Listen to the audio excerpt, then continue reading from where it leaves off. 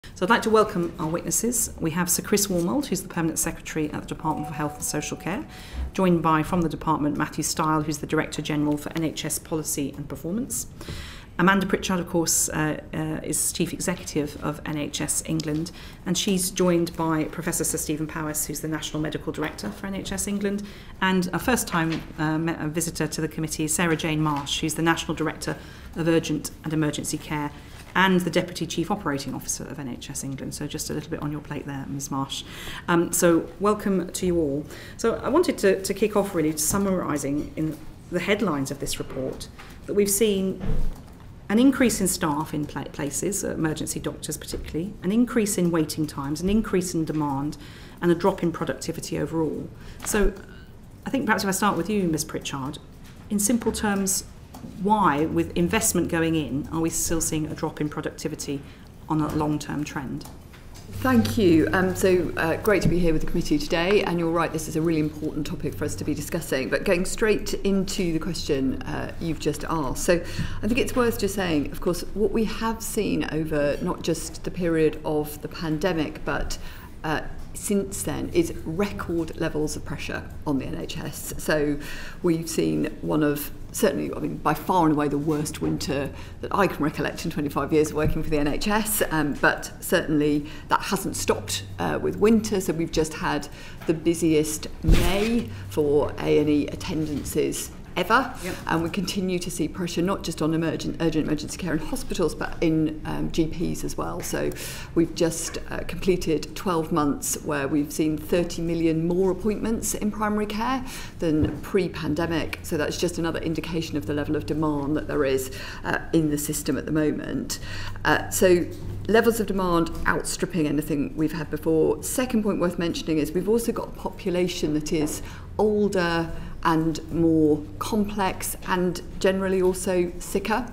One of the things that we, is... To be fair, the population has been older and more complex yeah. for some time. That hasn't just happened uh, recently. No, it's, it's, you're absolutely That's a trend that's continuing, but of course that trend does continue. And what that has led to, um, uh, we've seen very clearly now, is an impact in the length of time people are in hospital. Now, some of that is to do with difficulty in always getting people discharged to the right place at the right time, but some of it is also a reflection of the level of complexity and particularly some of the age profile of patients who are in hospitals at the moment. I'm sure Steve can say more about that if helpful.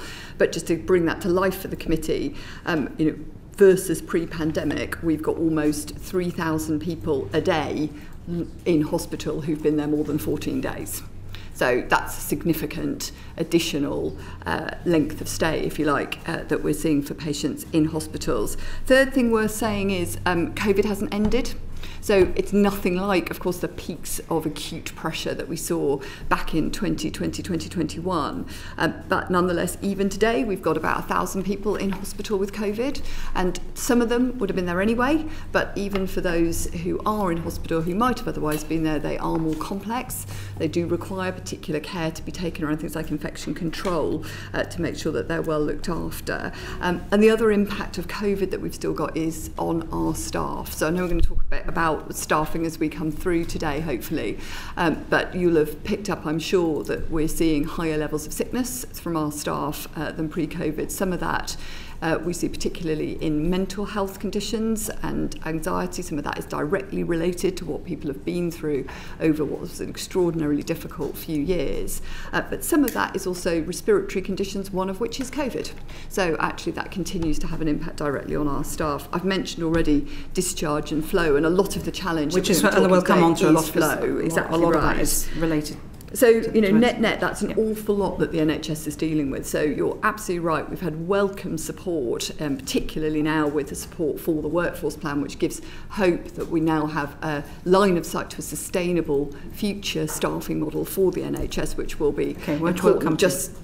you know, for staff now as well as for those joining us in the future. Okay. But I think the thing, oh sorry, I was just going to say, but we are improving. Yep. So just the, the well, final point to make on your productivity challenge is, you know, we're not certainly not in a position where we're just observing these challenges. We are absolutely actively addressing them, and that is part of what was behind the publication of the urgent emergency care plan back in January and some of the sustained improvement we've seen since then well, I think we might have some discussion about that, uh, uh, just improvement, but I'm going to ask uh, Mr. Mark Francois to pick up. Thank you, Dame May.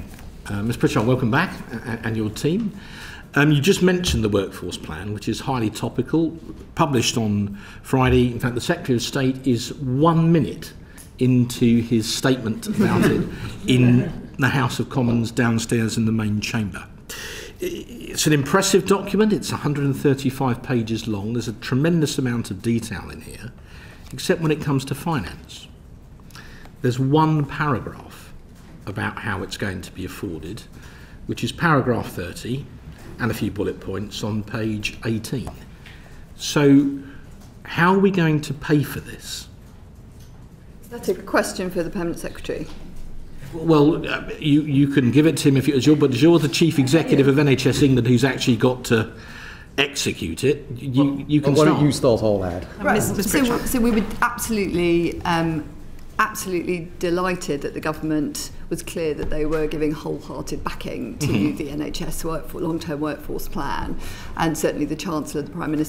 Secretary of State have all been clear that that is new money that would be going in to support, particularly, uh, actually it is the, the full funding of the first five years of education and training place expansion. So uh, that will allow us to go from, for example, 7,500 medics who are currently trained as undergraduate medical students will be up to 10,000 by the time we get to 20, 28, 15,000 by the end of this oh, period. Just, apologies for interrupting you, but when you say new money, the current NHS budget for England is a bit over 152 billion from memory. That's over three times the defence budget.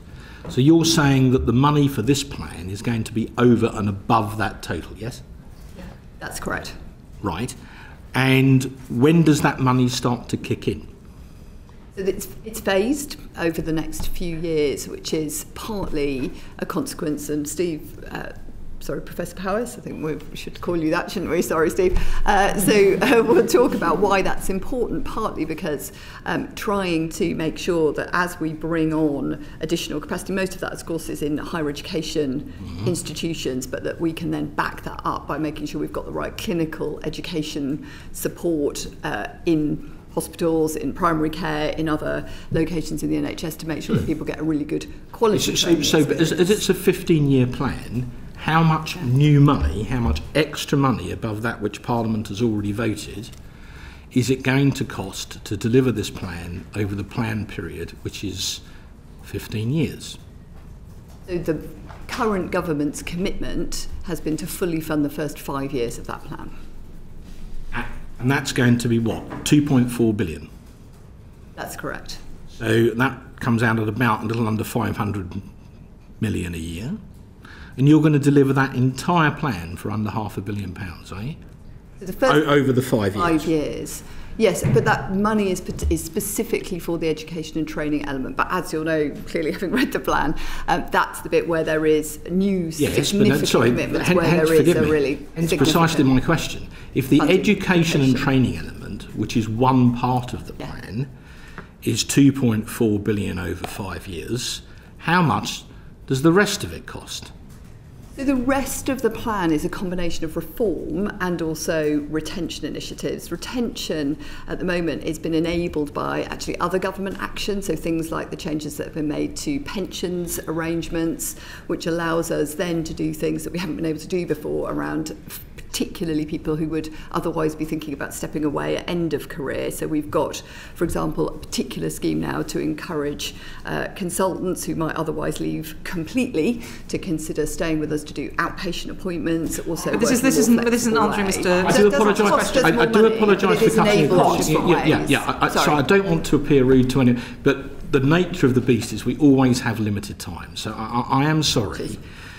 But if it's going to be 2.4 billion over five years just for the training piece, are you saying that all the other initiatives in this plan, it's hmm. 135 pages, this is not a small or unambitious document, that all of those other initiatives in this plan are ultimately going to be revenue neutral and you can do all of it for a net 2.4 billion over five years.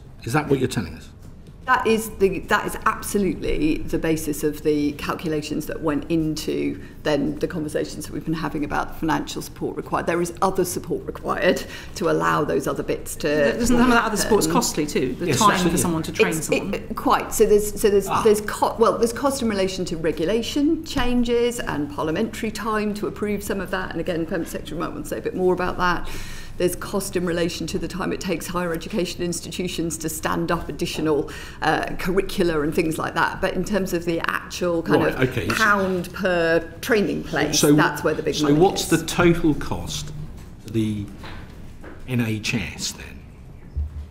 So in, in direct because, because some people some people might say there's a little bit of smoke and mirrors going on here, so perhaps the Chris could help us. Yeah. Well, can I be absolutely no, clear?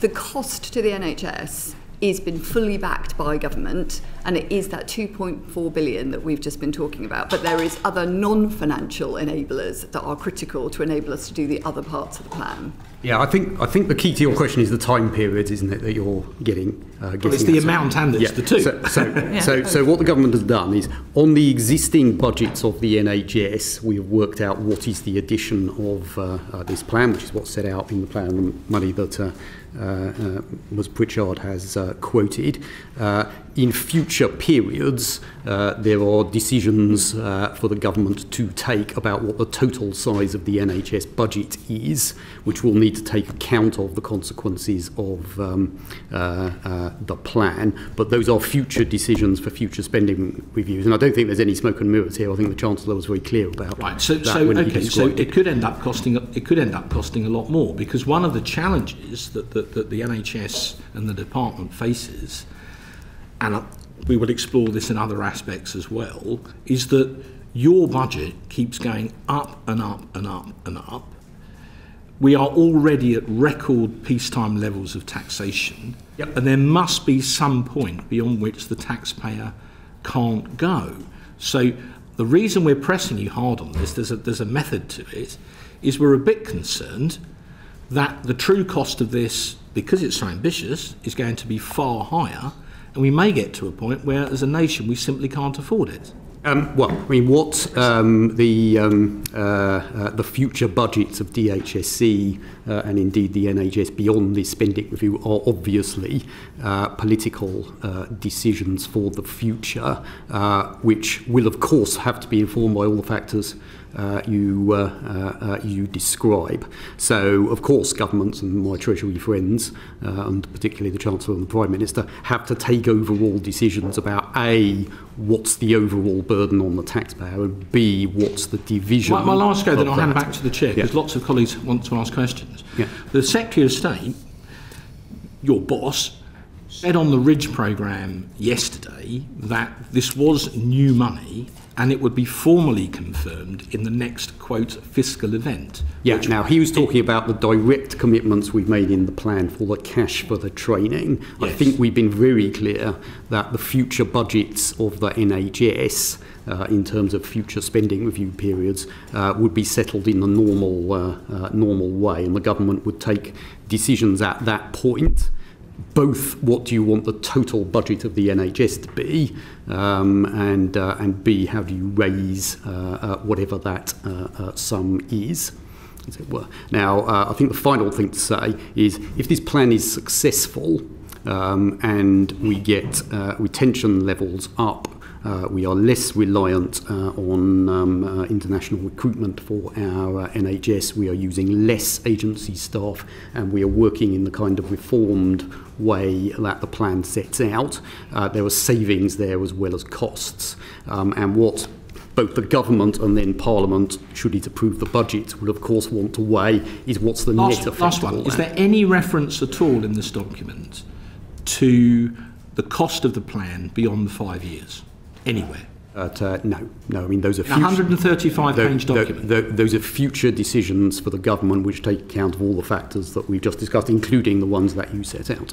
That's great from an NHS perspective. From a taxpayer perspective, it's quite worrying. Um, well, no, sorry. I'm Just, i mean, just to be clear, I mean, the the, um, uh, the, the government does spending reviews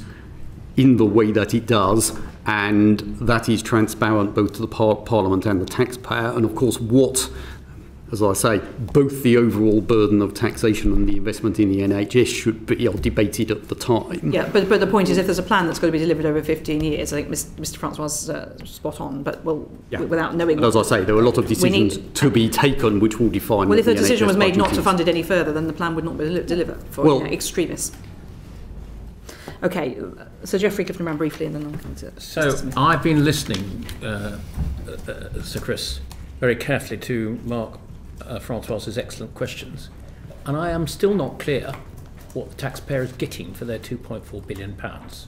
So can we try and see if we can find some clarity on that? Does that £2.4 billion pounds provide us with a doubling of medical school places by 2031 32? Um, I might leave um, uh, my NHS colleagues okay. to uh, uh, answer, but on that one, yes. Yes, is the answer. So, by, by which date? So the plan sets out a doubling of medical school places by 2031 too, 100% increase. Does it, does it give us that? So the funding is till 28. 29. It doesn't buy us all. So that. the 31 date, that's sorry, that's why I was just trying to clarify exactly which date we're talking about, takes us beyond the funding period we're discussing. Gives us a 25% increase in medical school places from 7,500 to 10,000 over the first five years. That's really helpful, Professor. And then once they've started, they have to continue in that. So there's uh, of... Uh, clearly those 10,000 do. The, the doubling, which would be up to 15,000, is for the remaining 10 years, uh, obviously subject to additional funding. Um, I think it would take um, it, the education sector five years to build up to that number. uh, which is back to the phasing question. So the money will need to be phased because it will require new medical schools, it will require expansion of existing uh, medical school places in existing medical schools. That doesn't happen overnight. We need additional trainers, additional educational staff. That's why uh, the 2.4 billion, I think, uh, when it comes to medical schools, and obviously you could make the same argument for other professions, will will be um, loaded towards the back end of those years. So, Professor, I suspect, allied to that answer, does it bias a near doubling of adult nurses? nursing training places by 2031 too. Uh, yes, it, uh, um, it buys from. So we train uh, roughly 30,000 nurses at the moment. It would take it up to 40,000 by 2028, and then by the end of the period, so that's actually a bit uh, further on, would get up to 50, about 54,000. Okay. Does it bars a 40% increase in dentistry training places? Uh, the answer is going to be similar to all of these, which is it's a step by 28 and then it's a further step beyond that. And what does it do? You've, you've said in the report a 15-year period uh, would estimate that without action, a shortfall of 260,000 to 360,000 staff by 2036, seven by the end of the plan. How far do we get into that, addressing that shortfall? So that's a that's a calculation across the whole 15 years. So this obviously again because it ramps up and it takes a while to train people, they'll be they'll be coming uh, through their training over the course of that 15 years, which is why the plan is so important that it includes also the commitment to retention. Whether we've said over the period it'd be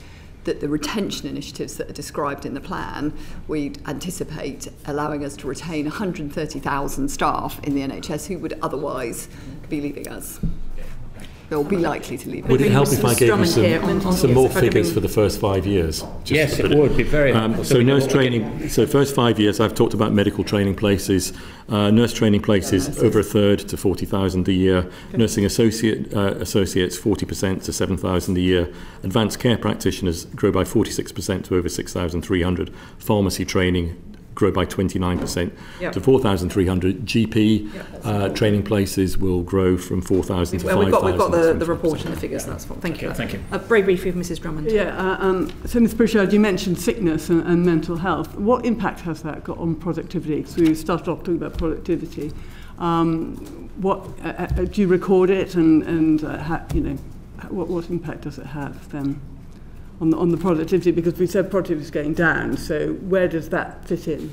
Well, so in that list of things that I gave yeah. at the beginning, there's clearly the impact, the ongoing impact of uh, COVID on our staff, and some of that is physical health, but some of that is also clearly linked to mental health. So we have seen an impact on staff. Sickness go up. It's one of the reasons why we've continued to support things like um, the mental health hubs for staff, as well as the, all of the local initiatives that are in place to support staff, recognised again, I should say, of course, globally as one of the things that happens post-pandemic.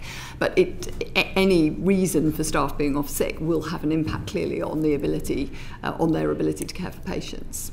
But uh, have you actually got a percentage of how much that is affecting productivity, just so that we can see what other aspects are, you know, are impacting on productivity? Um, I, we, I can come back to you with a specific breakdown, if that's helpful, of the contributors to staff sickness. Um, that is the single biggest, that, that musculoskeletal and respiratory illness are the three biggest reasons why staff are, uh, for staff sickness, but I can come back with a breakdown if that's helpful. And the mental health angle as well, is that a, a massive issue? Yes, yeah, so it's, it's, those are the three big ones for the reason that staff are, uh, tend to be off sick, is mental health,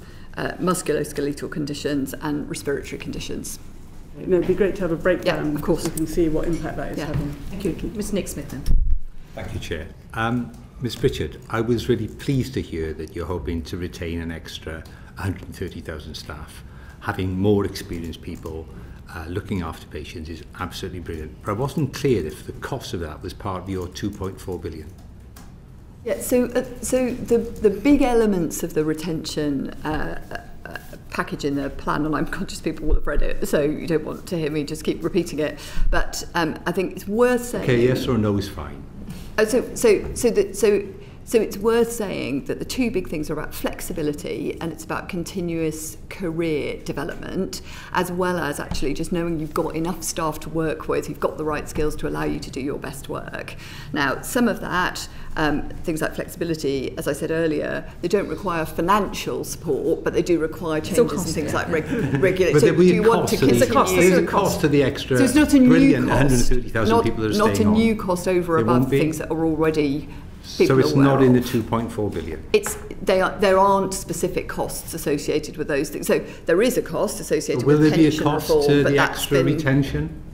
No, pardon me. Will there be a, a cost to the 130,000 people you're hoping to retain?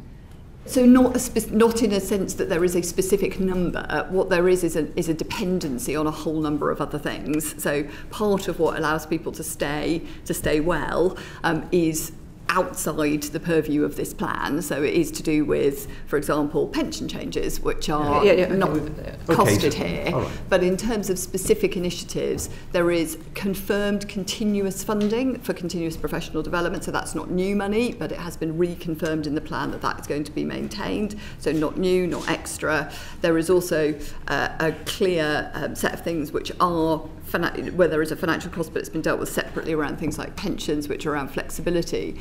But a lot of what is in the uh, retention section of the plan is about doing what we know works and doing that systematically and supporting that to be spread across the NHS. So, for example, we launched an NHS retention program last year. 23 trusts are doing it at the moment, and it's a systematic application of the things we know matter the most to people working in the NHS. That's they've seen their rate of improvement double yep. compared okay. to the rest Thank of the you. NHS. Mr. Wormald, have you got an assessment of the extra cost to the Treasury on helping pensions and these retention initiatives, please? Um, there's definitely a cost to the pensions. I don't have it with me unless you do, Matt. I can write to you with the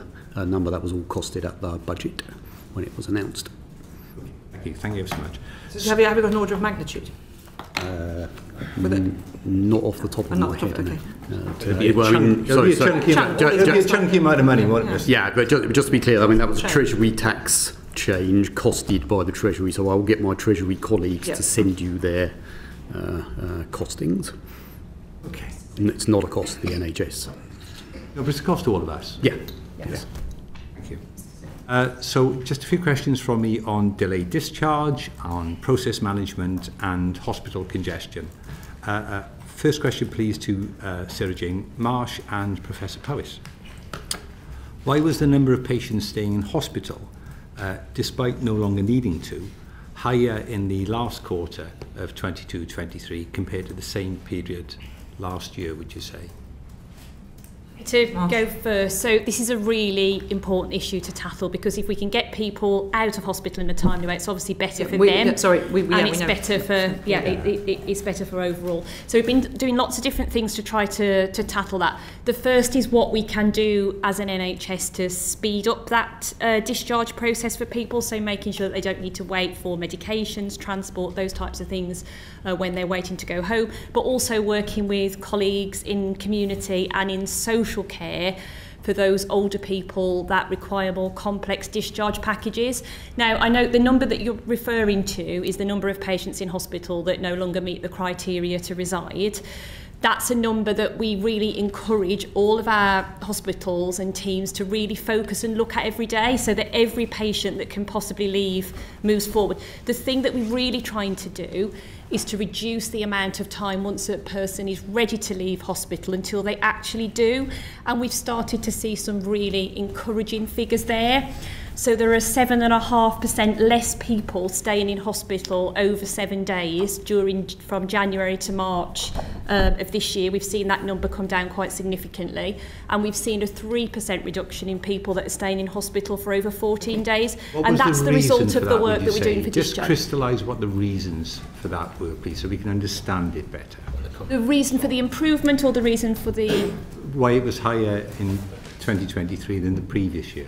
I think there's a, I think some of it is to do with the needs of the people, of uh, the population and the complexities and therefore the packages of care that people need to leave hospital with. So we've seen a need for more and more domiciliary care support, rehabilitation support as we deal with an older population with sort of underlying chronic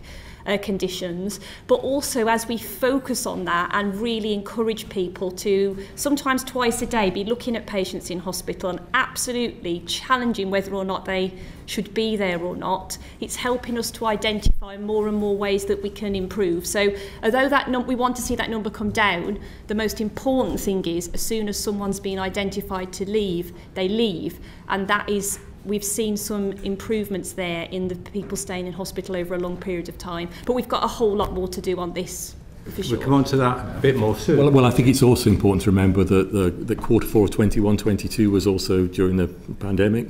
Uh, the Omicron wave was um, was January of uh, 22,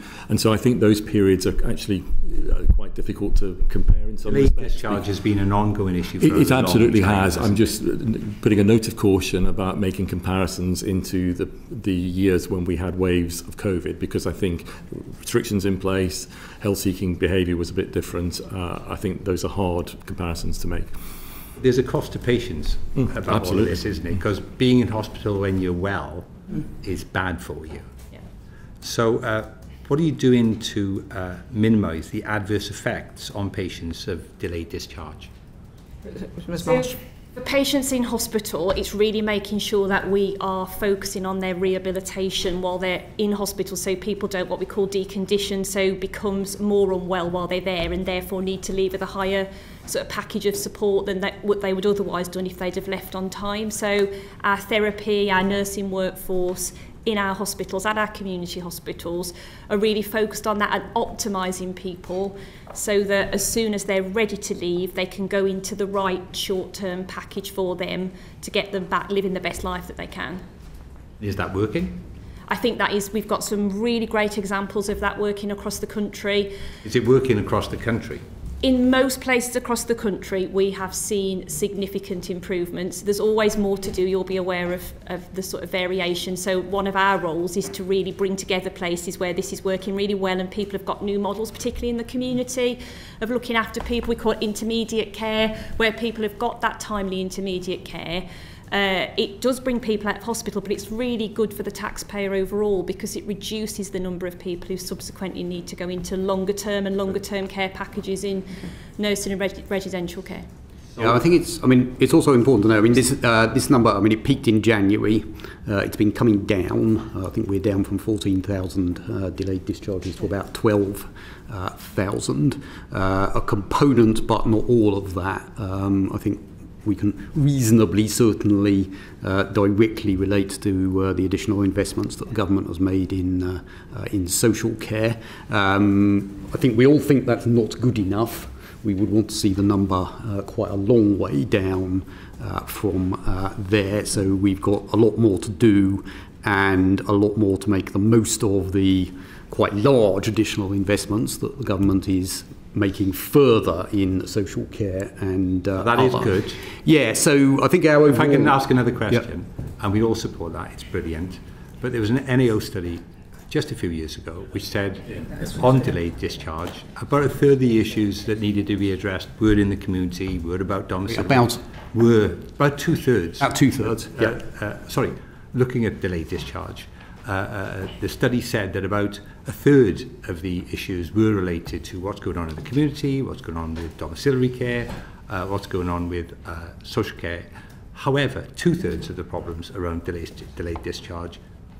belonged actually in hospitals. And so give us some comfort, uh, Ms Marsh, that those two-thirds of the problems around delayed discharge, which are the responsibility of hospitals, are being addressed in hospitals. Yeah, I don't, I don't think that's the correct figure in terms of the balance between uh, between what's the responsibility of the hospital and broader. But I think what, what would you say was what then? we're working on here. What, what it's about 20% of the uh,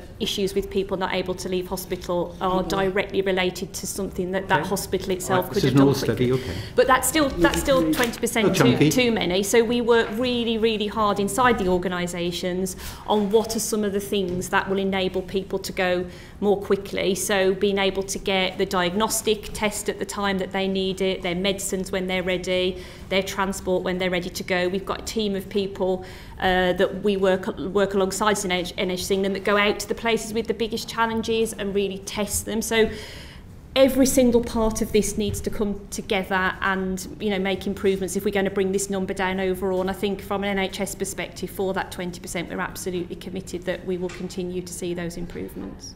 Thank you for that answer. Uh, uh, Professor Powis, I understand we're running together on Wednesday for the 75th anniversary of the NHS. Looking forward to it. we'll be able to take this session forward to that.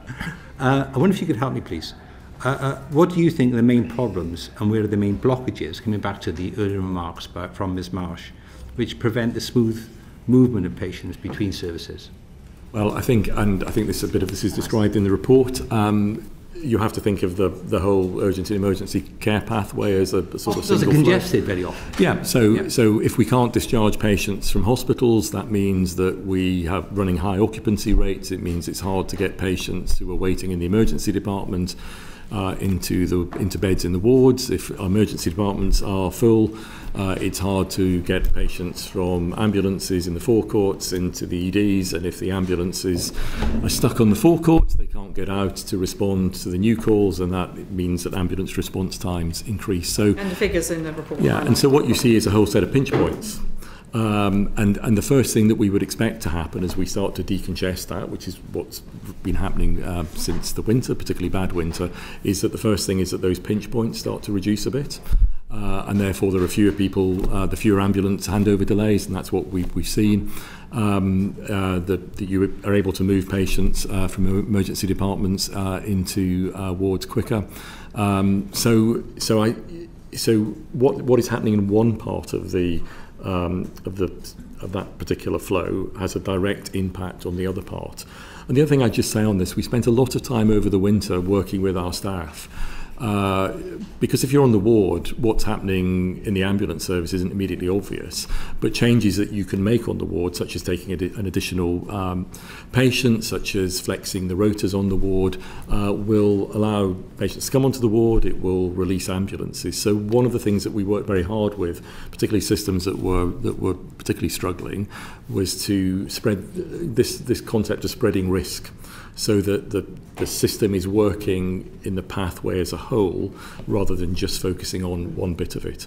But, but it, you have to focus on everything, but if we can't get patients, as you've just rightly said, out uh, in, uh, discharged on time, then it does have a knock-on effect all the way down to ambulance response times.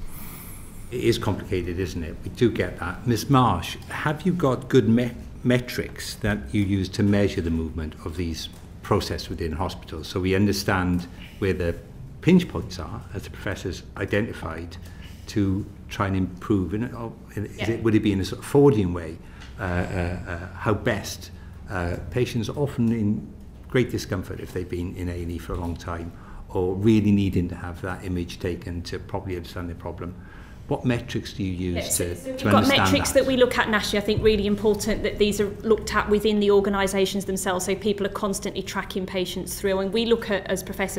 Powers has said, we look at handover delay, we look at the amount of time that people are in the department before they're seen treated and discharged. We look at long waits in an A&E department, so people that are waiting uh, for 12 hours or more. We look at length of stay for short stay patients, so the sorts of patients we wouldn't expect to get a delayed discharge. We look at length of stay overall we look at the length of time that people are staying beyond being ready to leave. all hospitals will have an operation centre of some description where they themselves will be monitoring that information and data and as Professor Powers has said they'll be looking to see can we open an extra sort of ward here or can we move some patients there can we spe speed up some people's scans to get things moving more quickly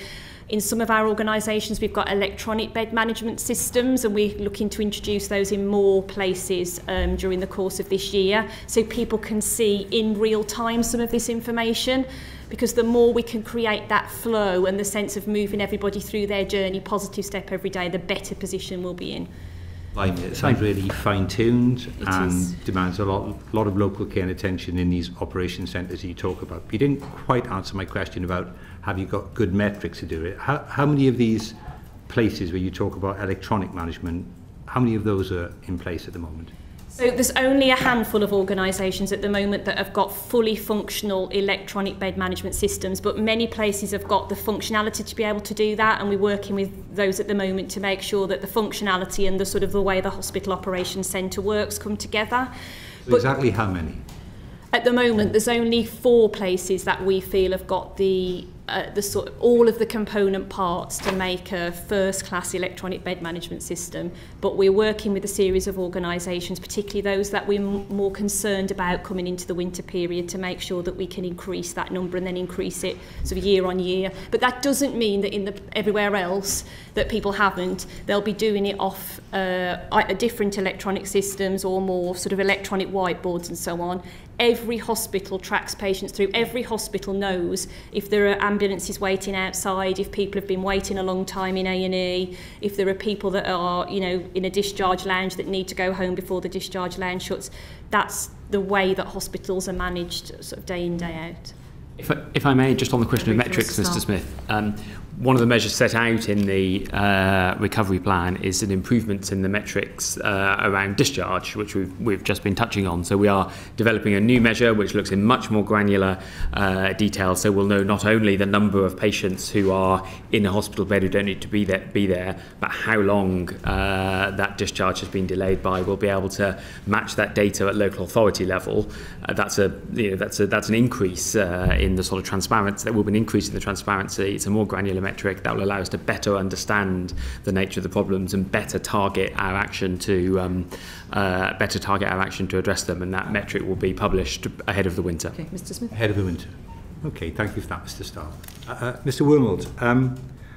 which which parts of the urgent care system uh, uh, do you think the department uh, sees as the highest priority for actions and investment to help your colleagues here deal with this Um, I think our views, well, I mean, we work uh, incredibly closely with the people to my uh, right, and I don't think our views would differ from the uh, uh NHS's uh, at all. I mean, the, uh, the heart of the system going into winter is less components of the system, but which local systems, and Sarah Jane's just been talking about this, worry us most, it goes back to your metric questions. So Sarah Jane will be able to describe this much better than I. There were a series of national metrics where we identify which local systems are the most challenged.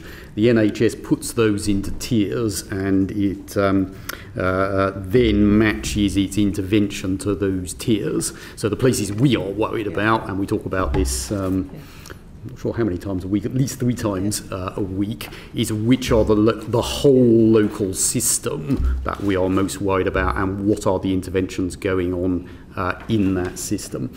When you look at that analysis, and I'll say Sarah Joan, we'll do this in much more detail, um, it goes exactly to your point about how do the services fit together. So yeah. it's uh, so it's the whole system through arriving in an ambulance to leaving in discharge and working out what is the weak links in those system at a local place level and then addressing those. So what we're not saying is it's ambulances nationally or it's urgent and emergency care nationally, etc. We're saying it's these particular places.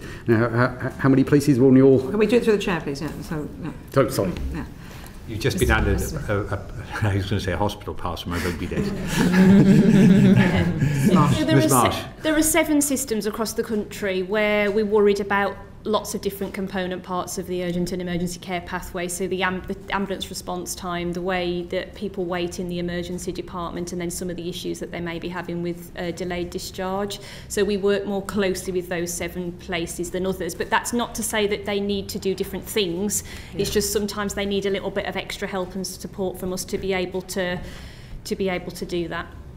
Okay. Uh Thank you, Chair. That's me finished. But I look forward to our run together, Professor Powers, on Wednesday. Can I just go back to the electronic bed management system? Yes. So there's four in England. Uh, you uh, say uh, well, four in the country, you mean in England, I'm assuming. Cause I, I think there's four that are completely up to the specification. That means that day in, day out, they are able to track okay. in real time there's every patient. four working electronic bed management systems, and you wanted to um, increase that. Is there a cost to increasing that? Yeah, so there, can I just clarify? There are four electronic bed management systems that are working in real time and using a particular type of technology that means that at any point in time we know when a bed is become. Yeah. There are lots of other organisations that use electronic data to manage the way they to manage their beds, but we know our top performing organisation, Maidstone and Tunbridge Wells, they they use it and they get excellent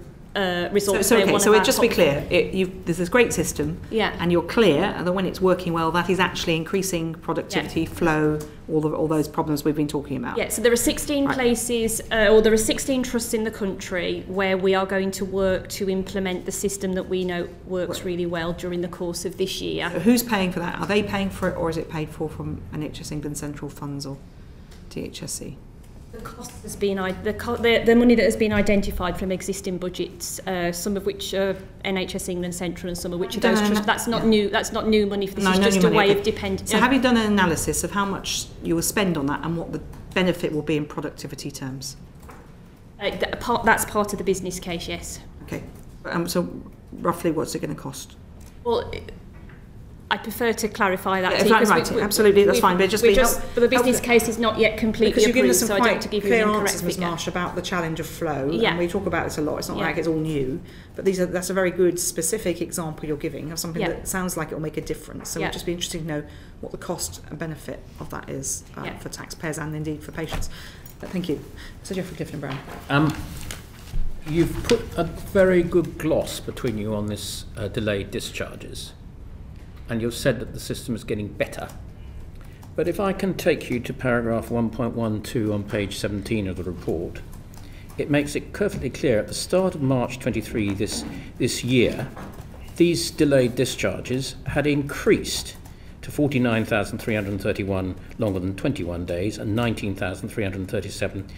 for those staying longer than, um, uh, uh, sorry, the first figure was seven days and the second figure uh, was 21 days. So actually the situation is getting worse compared to pre-pandemic rather than better, isn't it?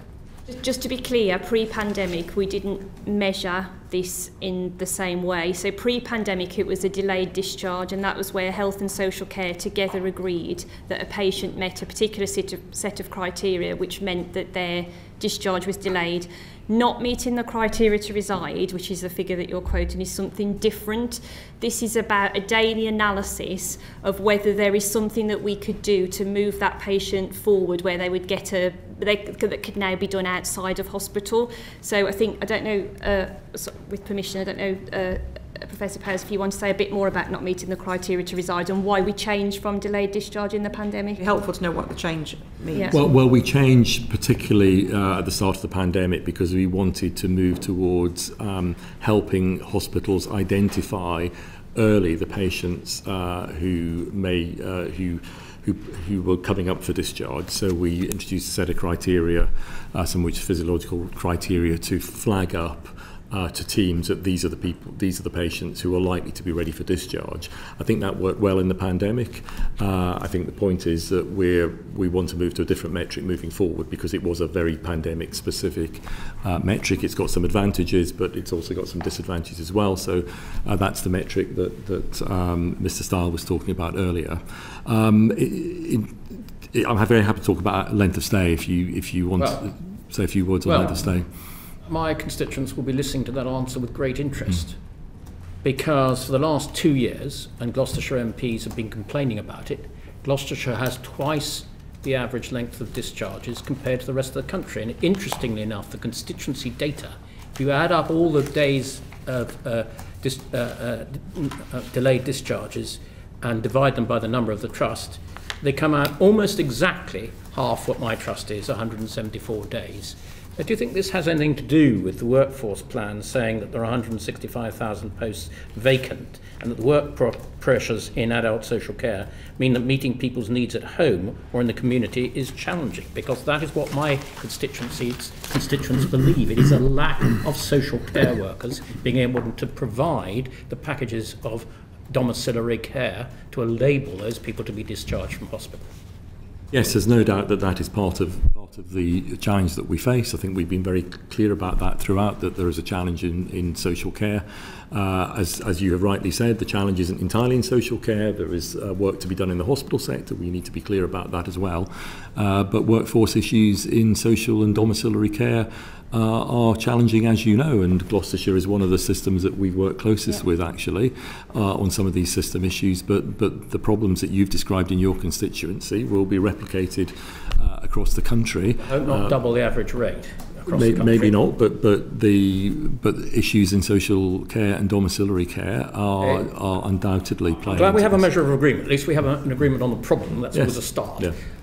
Um, how long is it going to take to fix so that my constituents will see a noticeable difference? well, um, that might be one for uh, department colleagues who uh, oversee social care, but of course, what we can focus on the NHS is working as closely as possible uh, through integrated care systems with social care colleagues. Uh, the long-term workforce plan is a is a plan for the NHS. Uh, obviously, some of those colleagues in social care sector are nurses, and so this will increase nurses in the round.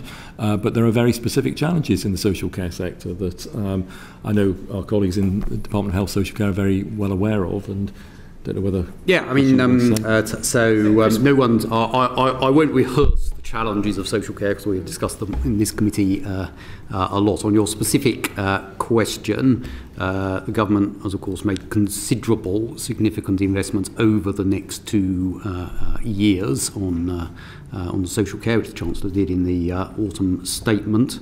Uh, we're currently, although the, the official figures are out next week, and I won't uh, prejudge them, but all our reports uh, from both the NHS and local government uh, is that the workforce position has stabilized We now need to see it improve and we need to see those additional investments over the next two years uh, turn into noticeable differences for your constituents uh, and uh, others as I said, um, and I don't think what I said was in, in any way contradictory to what you said, we, we, we saw delayed discharges peak in January and fall uh, from uh, there, which I think is consistent with the numbers uh, that you gave.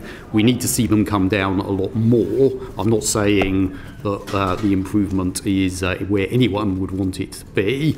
It demonstrates that the investments that the government has already made can make a difference, and we therefore need to see the up to 2.8 billion we're investing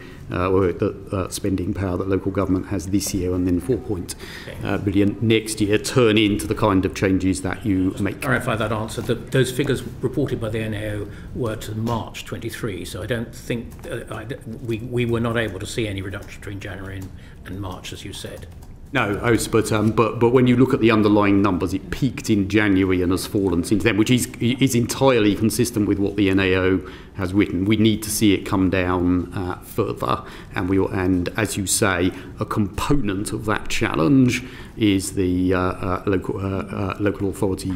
Uh, sector care workforce, and we need to see that go up. Real icing on the cake is that my constituents want to see a long-term plan for the social care workforce. When are we going to get that? So they can be reassured that they are going to get more social care workers to deal with this very difficult. Problem. Yeah, I mean the uh, uh, the government has not set out that it will do a long-term uh, plan in, in the same way as the NHS does. Uh, they are of course not our workforce. These are mainly private employees and. Uh, Uh, of uh, uh, independent companies. So we cannot plan it in the same sort of way that we do for the NHS. Uh, to, we do take a number of measures on workforce that I've described to this committee before, won't go through. Yep. Um, and as I say, the absolute key to it is the government has made some really quite significant investments in this area, which we need to trans see translated by local authorities into an improved service. But um, as, as I say, it's not, it, it's not a sector you can plan in the same way as the NHS for the reasons that you understand. G given that it has such knock-on effect on the health service, these delayed discharges, and I'm going to come on to ambulances in a second. Yeah.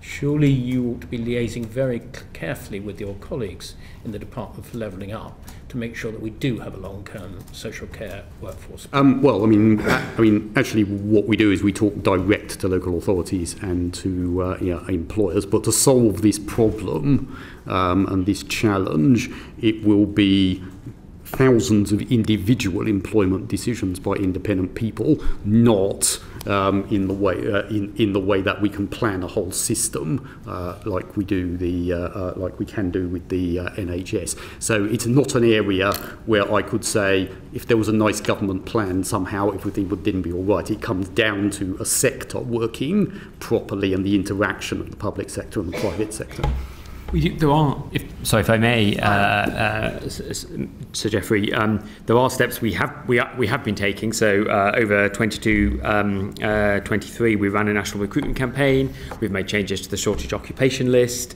Uh, we have put uh, dedicated funding to support local areas to improve recruitment practices. We're working proactively with Job Centre Plus to promote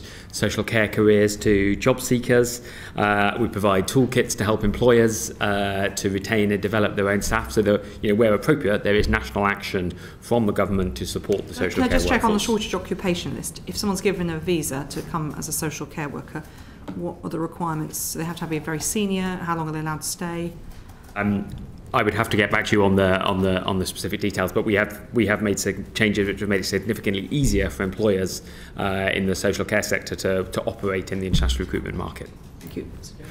So Let's see if we can get another measure of agreement, uh, Professor Powis, and that's the knock on effect of delayed discharges on ambulance trusts.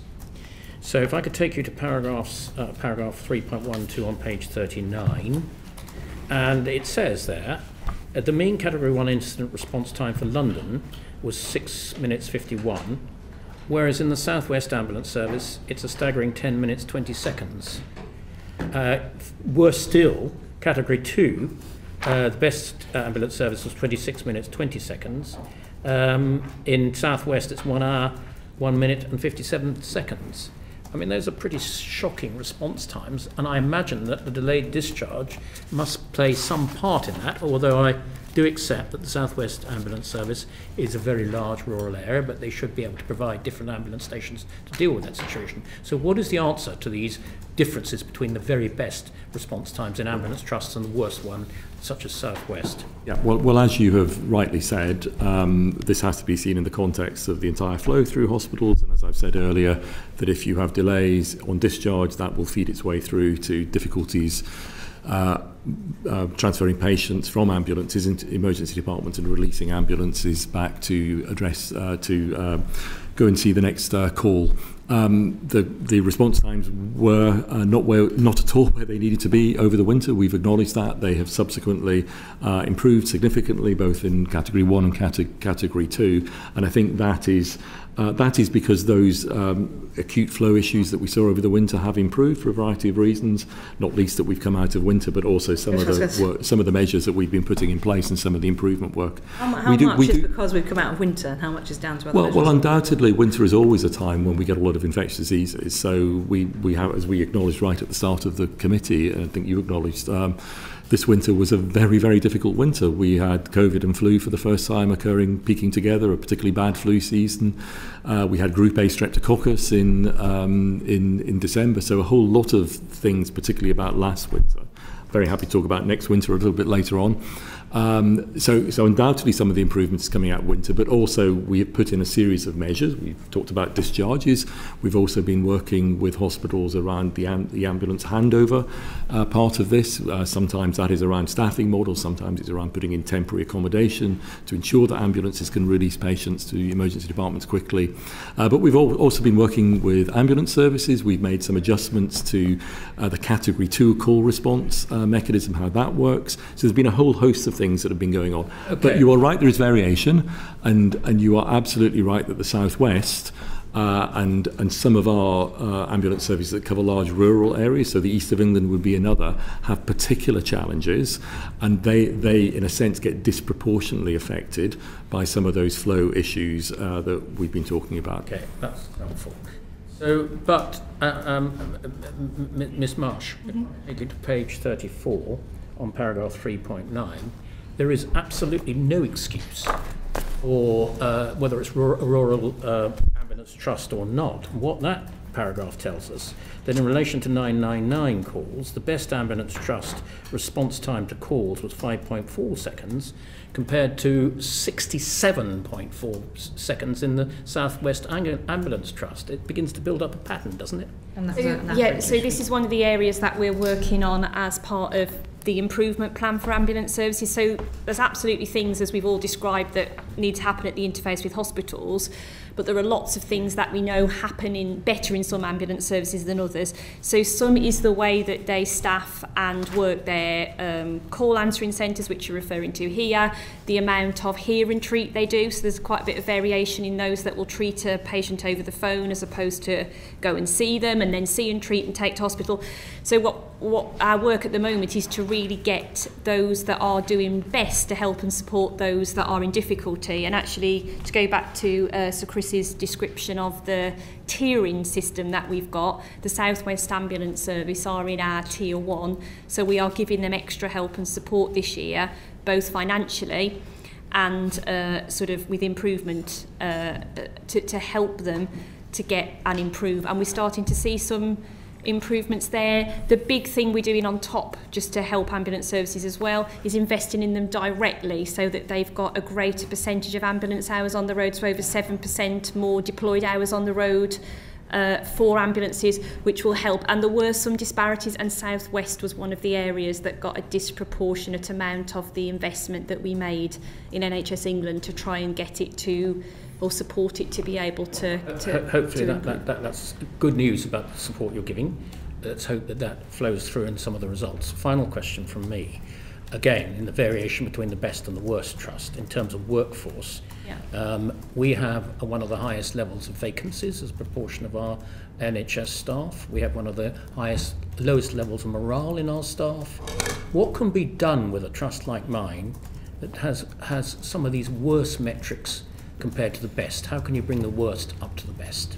I think there's lots of uh, there's lots of things that people have done to try in particular to think about how teamwork and the way that sort of the individual teams within a service can really help and support people to feel valued, like their ideas are listened to, that they can influence the work. And in those places that have really focused on those team-based models, we've seen sickness levels go down and we've seen sort of morale improve and uh, turnover reduce. So again, this is about trying to learn from places that are doing some of this, these things really well. I think the other part is, uh, and it goes back to what uh, Ms Pritchard was saying earlier, about if people are asked to do a lot of overtime to cover gaps in rota shifts people can be you know they're doing it out for the right reasons but they can become tired quite quickly and so on so as we invest in additional paramedic and paramedics sort of technicians that's also really massively helping as well because that helps to there to be a larger quantum of workforce Sorry. overall yeah is a final question for me this is a problem that feeds on itself doesn't of course it if you've it does, got yeah. more vacancies yes. you're going to ask your staff to do more overtime they become more demoralized yeah So what can we do about that? That's why we've made the, we've the majority of the resource that's been available. So we've put an extra 200 million pounds of our NHS uh, funding into ambulance services is exactly to address this problem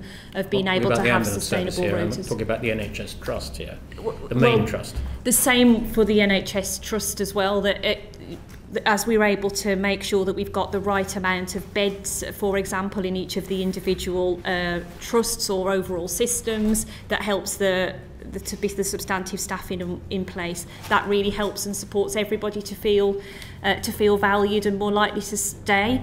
I think the issue is when people can see, you know, again, if they're asked to work in areas that they're unfamiliar with or if there's beds in places that we call escalation areas, then people just, you know, they don't have as much as an association as if they're there working in a in, in sort of their regular ward. So Again, we've put disproportionate investment into the Southwest to try and get both the trust themselves and the ambulance service to really have the capacity in place that they need a, ahead of winter. And just repeat, to complete, we repeat, uh, did. This is not ambulance trust. This is the main NHS trust I'm talking about in terms of morale and vacancies.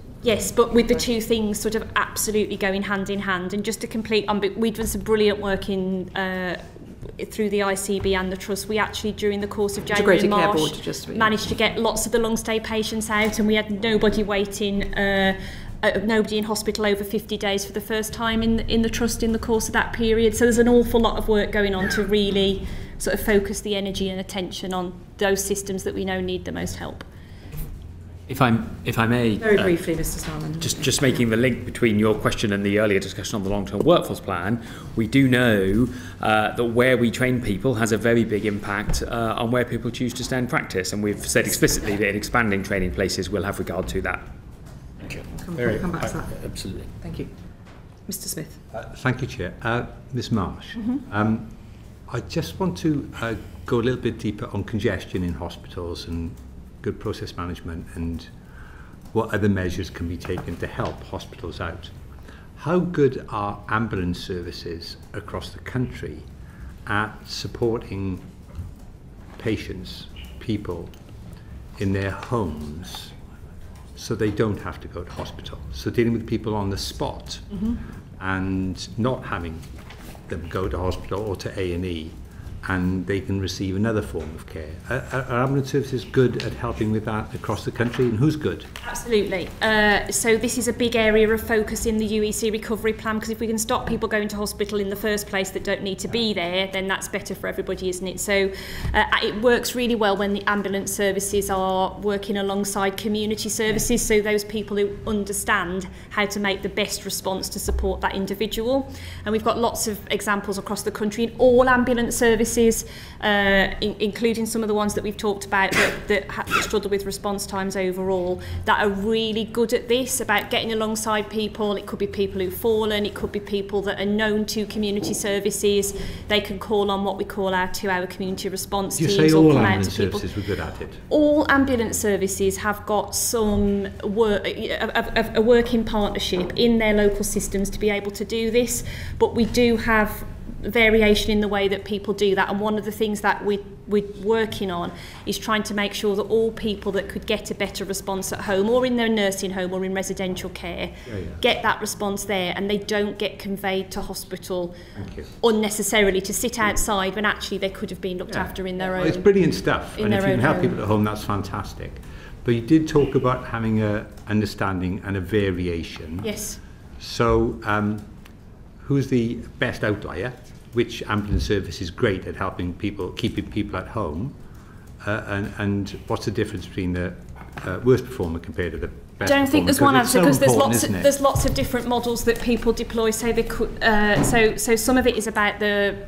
looking after people in their own home. Some of it actually the ambulance service, it works really well when the community service provider themselves sits as part of the ambulance service. So for example, they do this in the East of England ambulance service and when the call comes into the control centre, instead of the ambulance going in the first place, they can deploy the community response. So it's not just about the ambulance going and doing Is it in their own Is there a national home. metric of this or how do you understand the overall UK or sorry England figure for best performing ambulance services at helping keeping people in their home?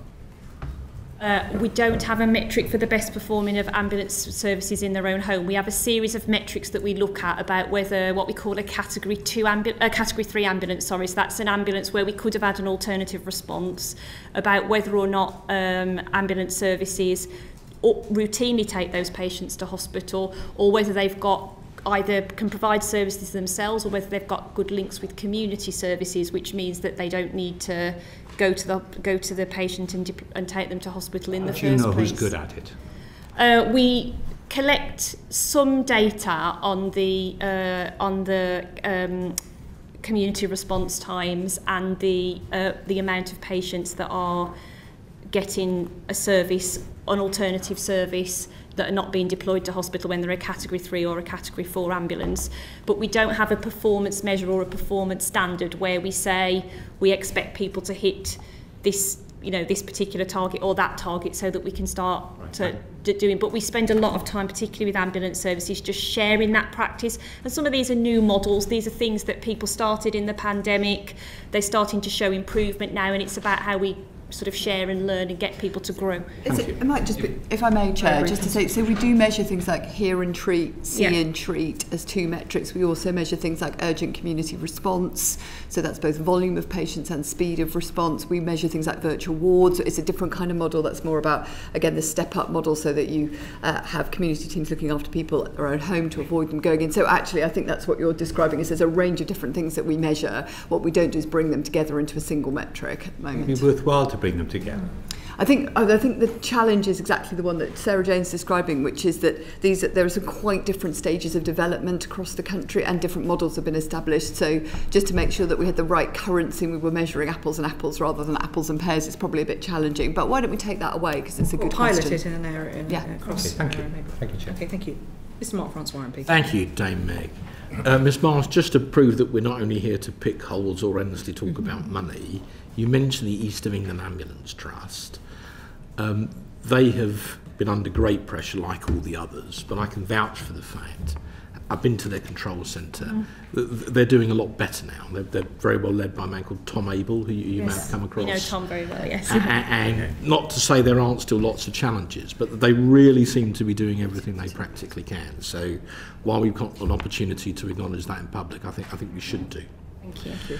Um, Now, uh, Ms. Pritchard, could I just ask you, what, what was the rate of staff outflow from the NHS in the year just gone? So in 2022-23, what percentage of your staff left the National Health Service? You're talking about so the turnover, staff turnover. Yes. Um, I haven't got the exact figure to hand, I'm afraid, but it's about 9%. About 9%. That's quite worrying. So coming on for one in ten. The, the, the Ministry of Defence, by contrast, they're under a great deal of pressure. Um, in the last year just ended, financial year, their outflow was about 6%. So that you're one and a half times higher than the, than the armed forces. And the MOD have a system whereby they survey all armed forces personnel. It's a voluntary survey and they, they can reply confidentially. They call it the Armed Forces Continuous Attitude Survey and AFCAS. You know from our previous discussions I'm not, not a great one for bureaucracy, but I can see the, the value of asking people what they think about the organisation they work for. Does the NHS have any pan-NHS system like AFCAS? So we have a combination, well, we have a range of different things. We have the staff survey, which is an annual survey, which gives a feedback at individual organisational level. So, so that's I think trust level, is it? That's trust level. So in fact, that's what um, Sir Geoffrey was referring to earlier in relation yeah. to his own local trust.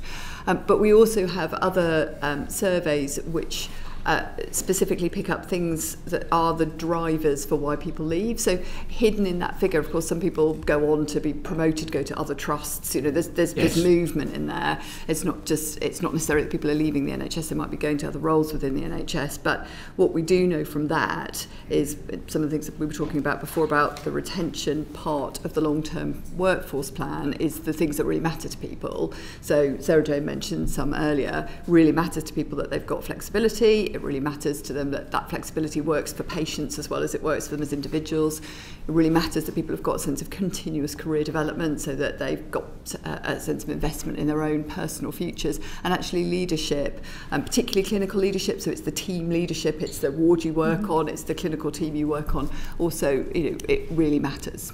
Okay, now you haven't mentioned pay there. Now, yes, pay now, also matters. Yes, yeah, I should have said that. But and I think it's fair to say that it does. But it's often also not the only thing. You know, it's one of a when people leave an organisation. Again, I go back to my MOD experience. Often they leave for a combination of reasons. And sometimes there's one thing which is, if you like, in normal parlance, the straw that breaks the camel's back. But it's usually a kind of decision in the round. And if you look at hospitals now you know, we often, as politicians, we talk all the time about doctors and nurses, where we're used to doing that. But, you know, there are lots of other people in the hospital, yeah. lots of clinicians, physios to radiographers, you've got cleaners, you've got porters, and without all of those different bits of the orchestra, you can't play the concert. So, again, I think it's worth, it's worth putting that on the record too. But when you, because the NHS is so large, we've all got lots of friends who work in it. And when I've spoken to some people who've left in the last year or so, now admittedly this is anecdotal, but often the reason that they say they leave is because they just lost their sense of job satisfaction. They're not enjoying going to work in the way that they did. And they give a variety of reasons for that, and one of those is bureaucracy. One person said they left the NHS to become an accountant, I'll mention to the NAA. Um, And when I asked the person why, she said, because I was having to fight every day just to do the job that I signed up to do. Why has the NHS become so incredibly bureaucratic?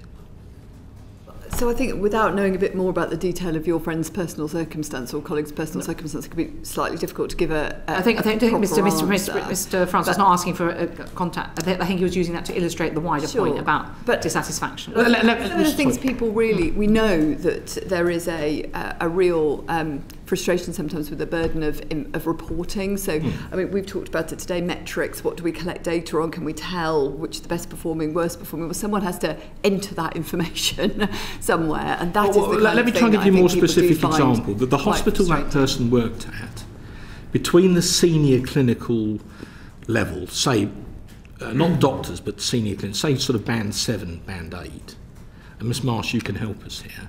There are about seven layers of management some of whom have a clinical role but most of whom don't, between those clinicians and the trust chief executive.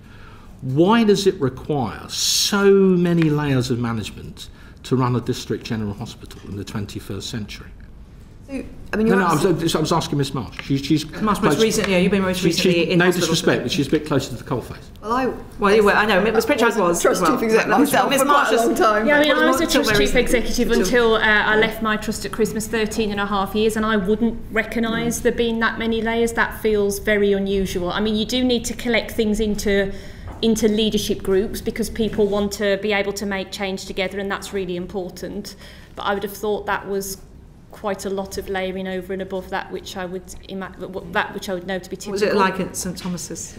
So we had clinical leadership model, that's right. So each directorate was led by a clinical director. Mm. Sometimes that was mostly it was a doctor, not always. Sometimes it was an AHP or a nurse or a midwife. Um, and they worked with a team of, again, predominantly clinical colleagues to run units of uh, that made sense, might be ward level, might be service level. Mm. Um, and mostly that is to develop the, you know, response to the local problem solving, local patients that allows people to feel really uh, real ownership of their roles and really thrive well, in them. I accept you can get Saying into, that, you can get into a debate. About I think it's it, just to really acknowledge there is variation across the NHS. We absolutely acknowledge that, and obviously each local organisation determines for itself how well, it's going to be. Structured. We're talking about we're ultimately talking about productivity for the sake of the patients who use the service, and you can get to a debate about when is a manager not a manager. I, I, I understand that.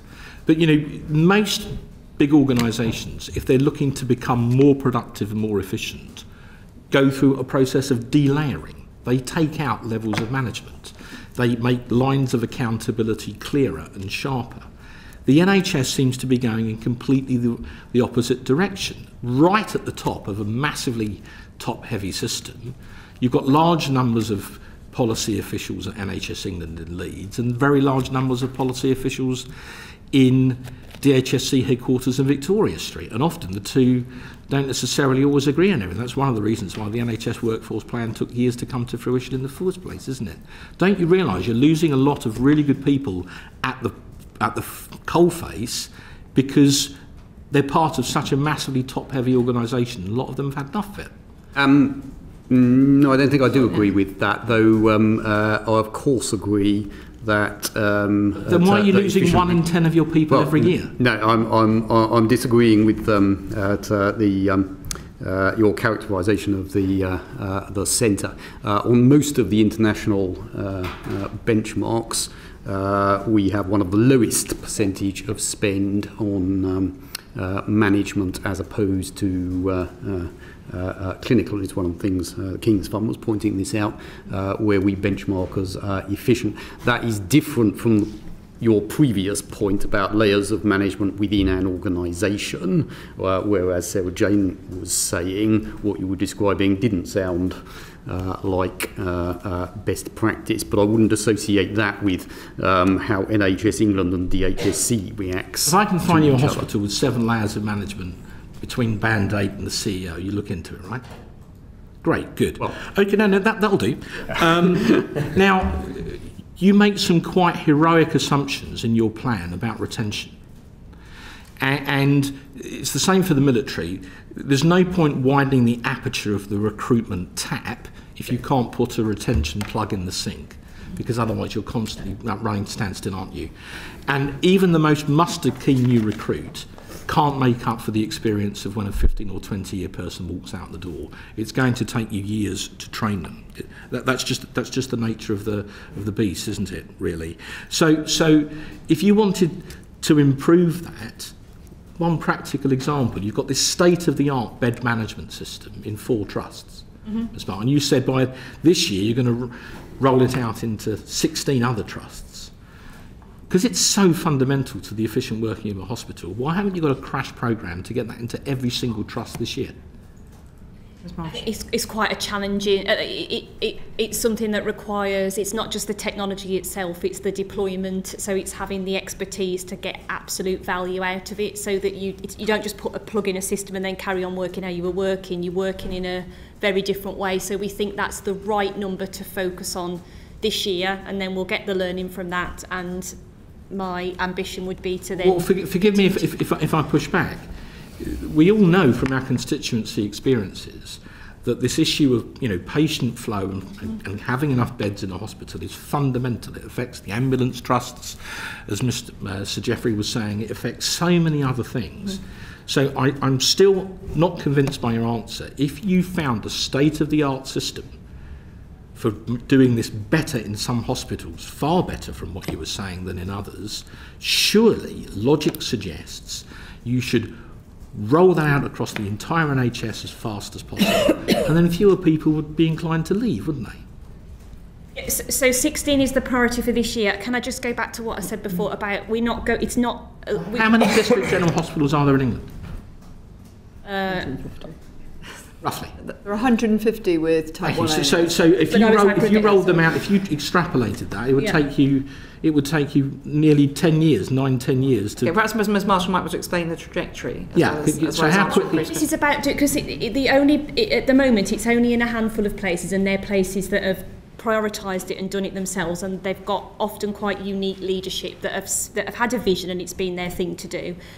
This, six, this group of 16, we're doing this in more in organisations that have got a whole range of challenges and they're going to be doing lots of other things as well, putting in extra beds, uh, you know, the, the, lots of other at the same time.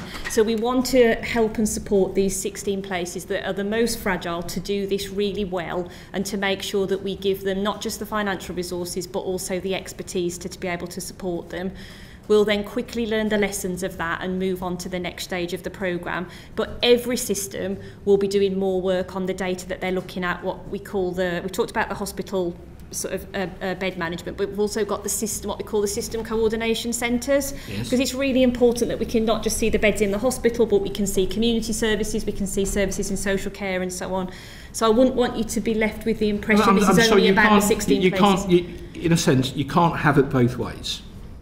You were making a really big thing 45 minutes ago about how brilliant this new system is. So not unreasonably, we say, well, just roll it out across all the hospitals, and then you give me a whole range of reasons why you can't. I think anyone watching this program who isn't an expert or someone high quite a program, Mr. Francois. the star of your reality TV show. I know, but it's so fundamental to the challenges that face the NHS. I'm not saying it's the silver bullet for everything, but you were telling us 45 minutes it was a bit of a game changer. Surely you can speed that up, right? What's the trajectory? If you yeah, start with 16 this year, I get you're piloting it, you're trying to get different trusts on board. So is there a plan to roll out? So I, I, might I jump in because I mm. think that um, Ms Marsh might be being slightly coy about this, partly because I think the Secretary of State would absolutely share the ambition to want to roll out this system and indeed many other things that sit in that digital tech space that we know can make a difference, some of it incrementally, some of it more dramatically. Uh, but it is one of the reasons why in the workforce plan we have said, and again supported by government, that continued and sustained investment in NHS infrastructure but also a significant increase increase in funding for technology and innovation are going to be critical because if we do want to continue to get productivity benefits, and there's no doubt this system mm -hmm. is mm-hmm. one of the ways which we absolutely can do that, but not on its own, we need to do all the other things that we've described in the urgent emergency care plan as well, then we do need to see a continued investment. So that's one of the things that we'll need to pick up uh, with colleagues as part my of last budget setting my last next couple. year. It's great that you're trying to recruit more people into the National Health Service. But if you, if you can't stop experienced people leaving all the time, you're running to standstill.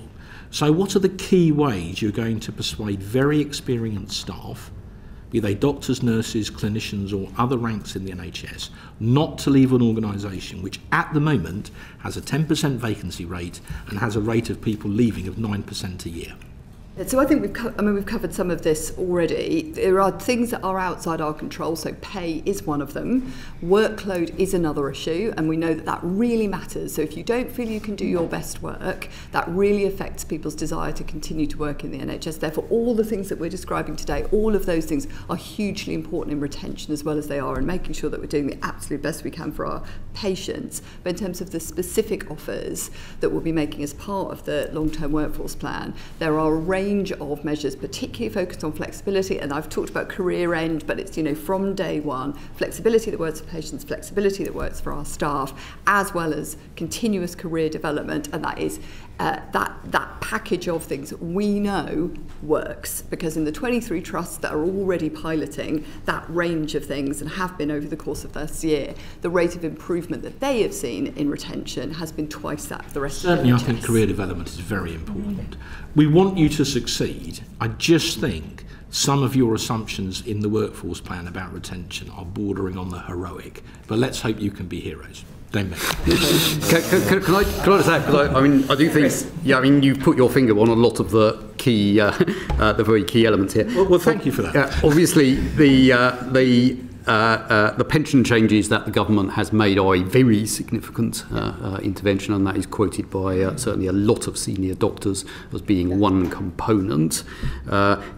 clearly, the in hospital management questions and have you created the kind of environment you're talking about is key. The other one, a lot of people say, um, which well, was mentioned earlier, but it's very key, is the hope for the future bit. Yes.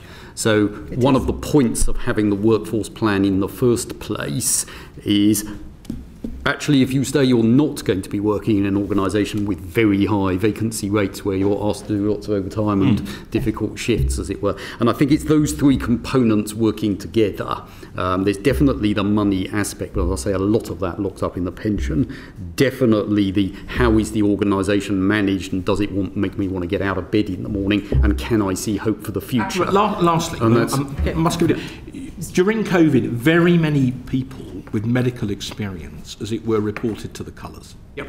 You know, and, and, and that was an amazing act of collective generosity and even bravery to do that, to bolster the NHS in the time of need. Do you have, but a lot of those people have now gone because they, as it were, responded to the emergency. Do you have any proposals in the workforce plan to try and get people who've left the service to come back as opposed to just trying yes, to keep and um, I'll, I'll, I'll ask my NHS colleagues to add, but a lot of that is in things that um, Amanda was talking about, about flexibility. Yeah.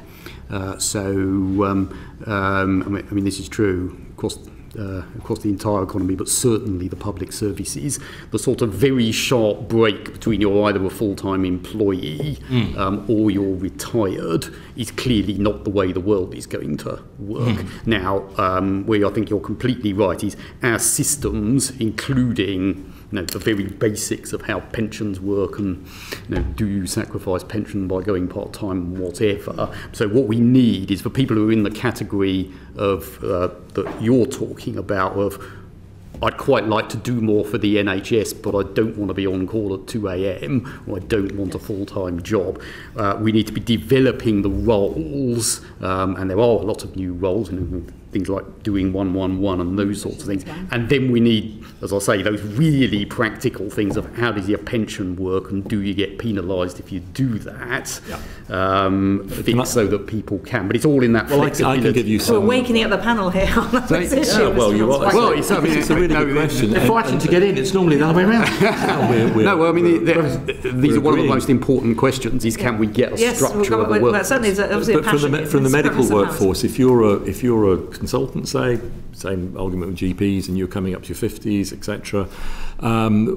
and you're looking at your later career stages. So the pensions issue definitely been an issue. So that's resolved. That will encourage a more flexible, um, you know, hmm. work-life mm. balance. So uh, this is where a conversation, which we've already started um, uh, to systematize with with consultants uh, at, at, that age, around do you want to stay on call?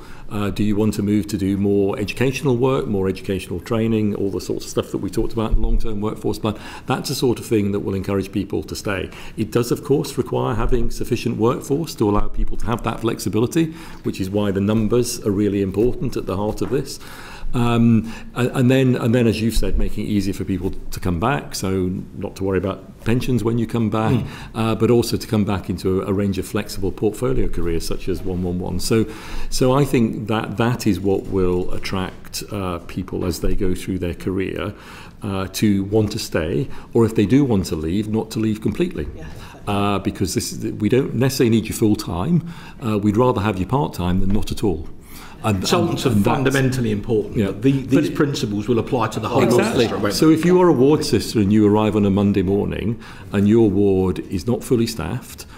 the staff that you have are agency staff mm. who you have not worked with before and you are a little bit unsure of, uh, then that is not an environment that, that sends your morale sky high.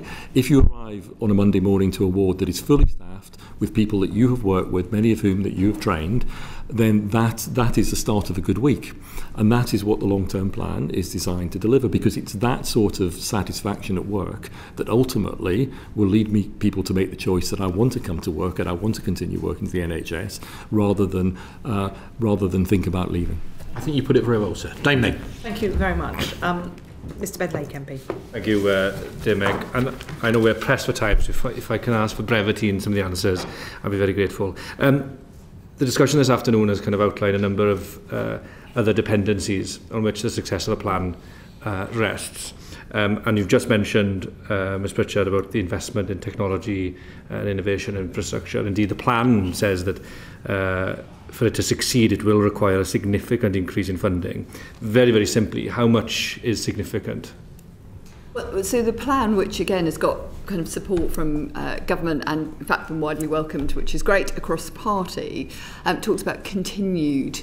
uh, investment, continued and sustained investment, and I think that's the that's the important thing. It's the ability uh, to think, particularly when we think about technology and particularly when we're thinking about digitisation, to think about this not as a, just a one-year thing, but as a multi-year uh, set of changes, and we've explored some of the very practical benefits already. And are we talking here now an increase in funding over a, over a period of time?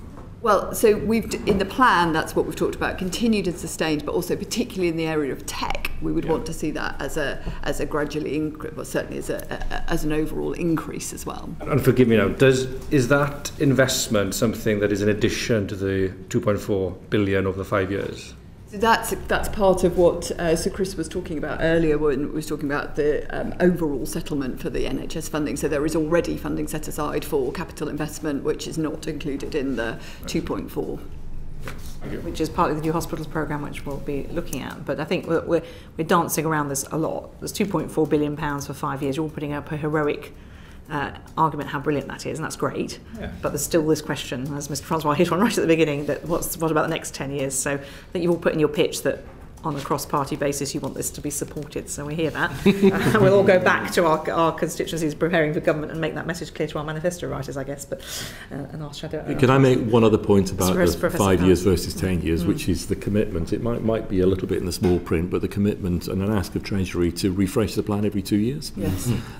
Uh, because 15 years is an awful long time, mm-hmm. and and technology will advance at um, at inc- increasing pace over that 15 years. So so actually describing the workforce in 15 15 years, uh, with any degree of precision is quite challenging, which is one why there are a range of numbers in here.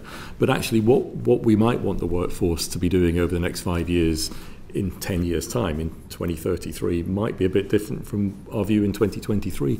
So that two year refresh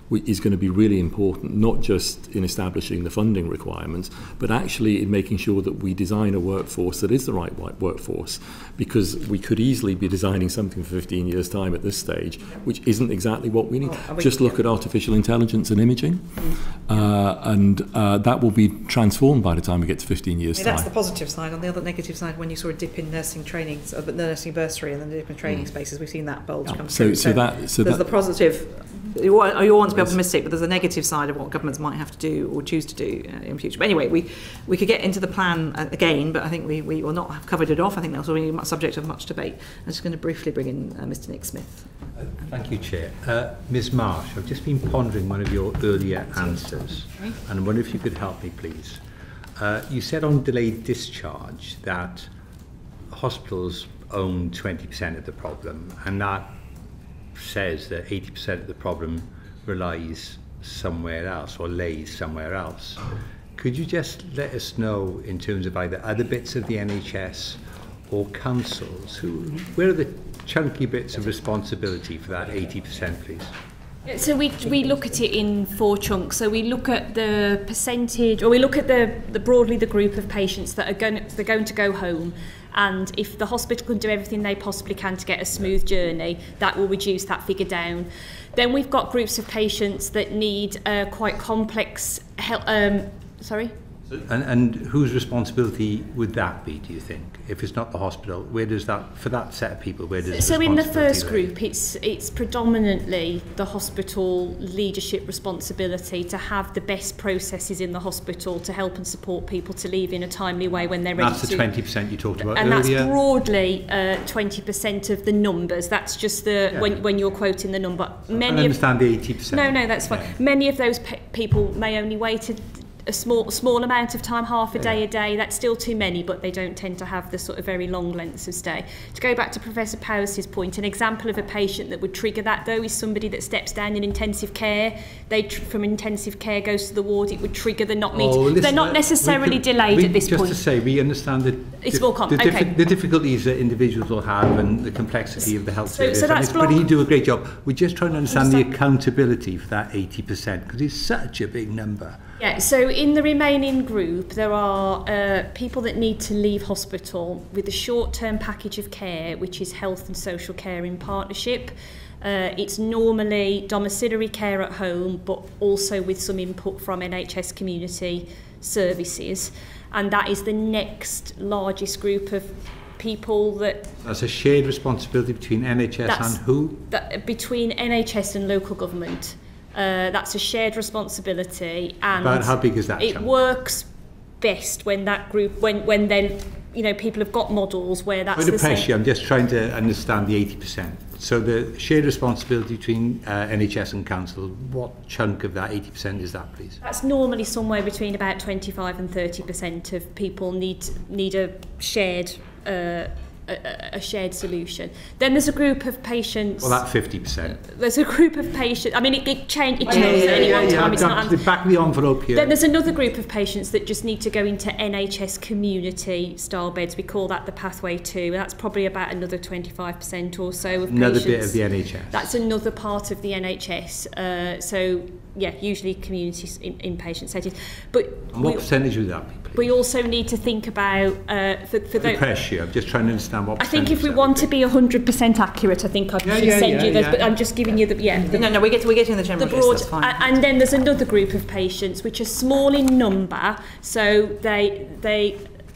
but they can sometimes wait the longest amounts of time. So these are people that are waiting to go into nursing or residential care.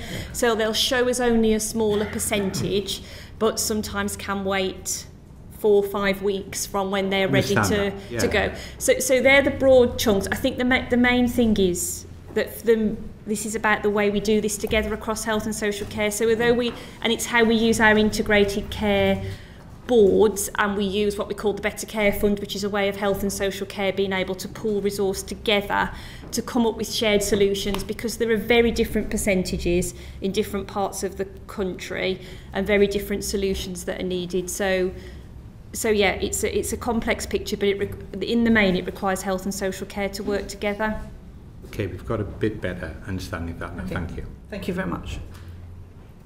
Jonathan Schnogley. Uh, thank you, Chair. I'd just like to look at some of the uh, factors driving trends in access, and starting with 111 calls. Uh, Ms Marsh, I heard before uh, what you said on ambulances. Um, however, looking at the NAO report, paragraph 3.4, Uh, the number of calls answered within 60 seconds stayed relatively constant at between 11.2 million and 13.3 million, despite increasing call volumes, that was up to 21, until falling to 8.4 million in 21 22 and then 8.1 million in 22 23. Uh, the uh, percentage of answered calls also fell very dramatically, and positive satisfaction rates with NHS 111 have gone down by about 10%. recently. Um, what's going wrong here? Why, why did both the number and proportion of 111 calls answered within 60 seconds uh, decline so rapidly in 21 and 22? So we've seen a massive increase in demand for our 111 services uh, over the course of the last few years and it's not just the overall demand it's not just the total number of people that are trying to use the service it's the people that are trying to use it at particular points in the day uh, or at weekends and we've had just like other parts of the uh, of the NHS we've had some recruitment and retention challenges for people working in 111 call centres uh, and so there are times when we're not able to you know have all the staff in place that we need for the total volumes of calls coming through So I think 111 has been, yeah, just like other parts of the health service, really under increasing pressure. What we've been working uh, over the course of the last year or so, and we're going to do more in preparation for this winter, is having as much clinical advice and support so that our call handlers of the, that are answering the phone have got that ability to be able to draw on the clinical help and support and advice and get people call backs if they're not able to sort of answer their query um, uh, in the here and now. But it's what we, we recognize the challenge and we recognize the need that if people ring 111 and they don't necessarily get an answer in a timely way, they may go to other parts of the health service. So it is a priority to get that uh, to get that number of calls answered in a timely way increased and then that clinical advice and support to help people. Are you actually saying that the, the problem you've got with call handlers, because you've got a huge increase in the number of people working in ambulances, But are you saying that the call handlers are not keeping up with that? Or, or? So the call handlers for 111 are not necessarily part of the ambulance service. In some places, it's uh, 111 services are delivered by or in conjunction with ambulance providers, but in others, there's a different range of 111 providers. So, and we do see recruitment and retention challenges so it's another area where we've been trying to learn from like what what works why is it that people will stay in some uh, 111 services for longer periods of time and then just like other areas like flexible working so people can uh, sorry is, is, are you, is what you're saying that one hand wasn't talking to the other so as numbers of ambulance staff were going up mm. people are dealing with the call handlers no, no, didn't so realize that they also had to respond to that No, so what we've been investing in from an ambulance point of view is additional paramedics and paramedic technicians to help and support getting more ambulances uh, ambulance hours deployed out on the road. The people that are uh, responding to the 111 calls, the call handlers, go through a they, they're not they're not paramedics. They go through a training period and then they go and work within our call centres and they're able to answer uh, you know, tr triage calls using our pathway tools and they can arrange for a clinician to call back if they feel that the patient would benefit from that and some of the people that provide that callback service are paramedics, but it's not, it's not the ambulance service per se that deliver I understand the that, but clearly they're all part of the same service and that, that you can't have one without the other. And it seems to me that they haven't been talking to each other in the way they should have been talking to each other. Uh, they're not part of the same they're not part of the same service uh, uh, I know that on a, but, but but I yeah they're not they're not part of the same service but I can I think we would all accept that if we can get the recruitment and retention in 1-1 of the call ham handlers, which isn't the same as the ambulance workers. If we can get the call handlers in there and answering the calls, that is beneficial to...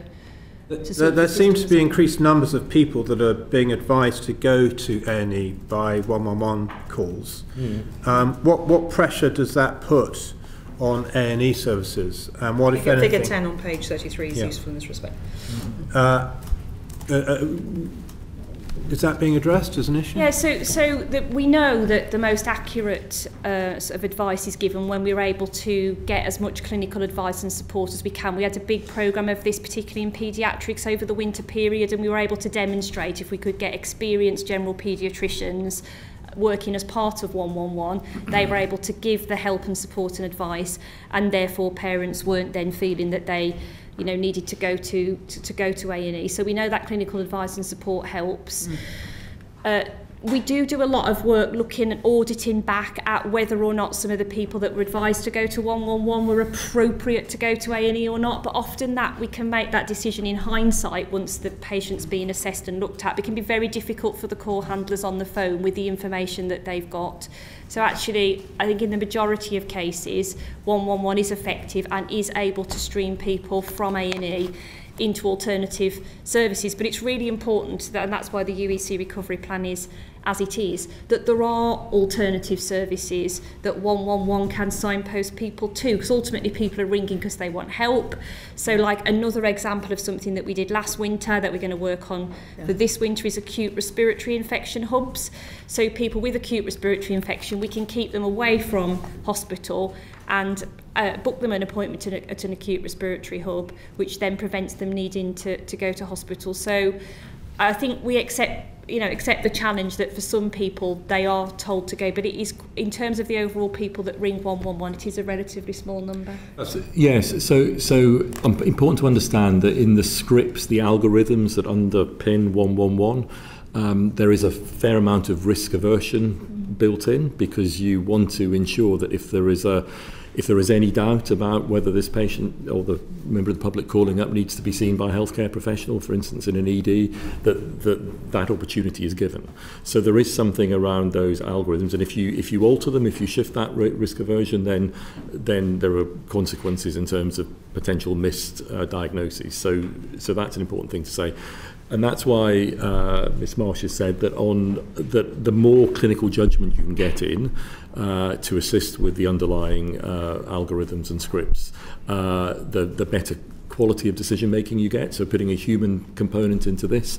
But of course, that is a pool of people that we are trying to recruit into several areas. They're, you know, they're typically, they can be GPs who are doing additional sessions, uh, they can be other clinicians, uh, and we're back to the long-term workforce plan, aren't we? Because actually, uh, there is a bit about trying to use the same workforce to do multiple tasks. But we all agree that the more clinical input that you can get into the 111 service, uh, the the, the, the more clinically appropriate, in a sense, decisions you will get.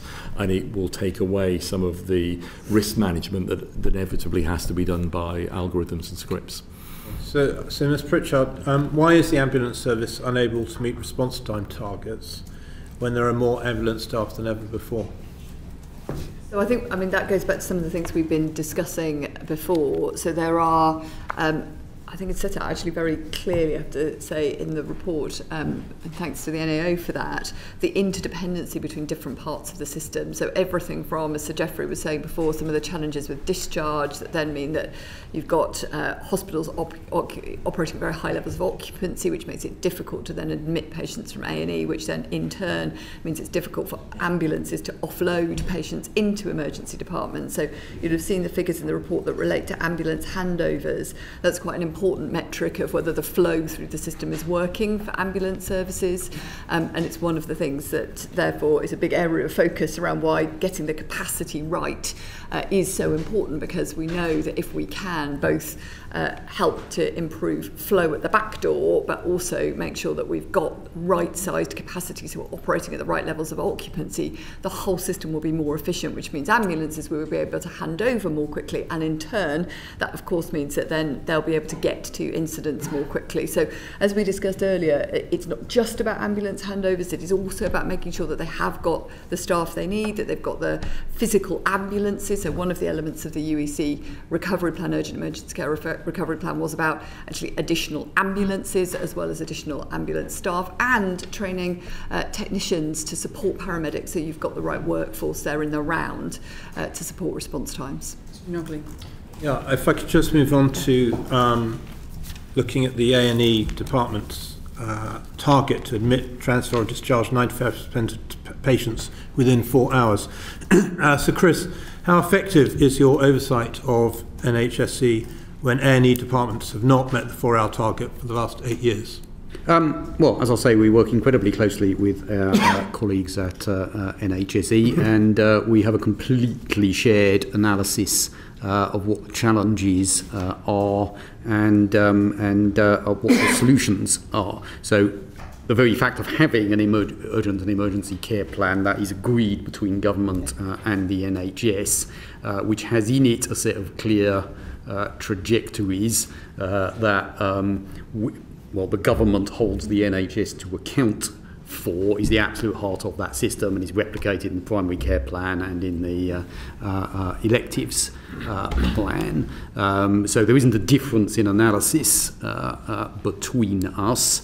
Um, as I think we said, at the moment the uh, uh, NHS is on trajectory on that uh, plan, um, but we recognise all the challenges in doing the next bit. And as I say, we talk about these things yeah. several times a week. But just to be clear about what that conversation is, um, and it goes with the whole sort of um, integrated care board philosophy, um, it, we are focused on joint problem solving. You know, there is an accountability element. We do expect the NHS to hit targets that it's um, Uh, uh, that it's signed up to. But our major conversations is, right, we've got X problem, what is it that we can do between us uh, to solve that problem? And if it's a problem with an individual local authority, then it may be on our side of the line to solve. And if it's a problem with a particular trust, then it will be on the NHS's side. So there is an accountability element, but the vast majority of our conversation is problem solving. Well, do you have a clear idea now uh, that there are enough beds in the right places?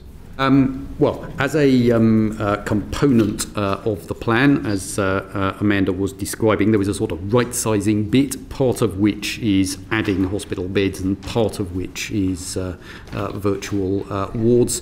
The analysis, it was all, the analysis was all done by the NHS, entirely shared with us, and we agree with the assessment.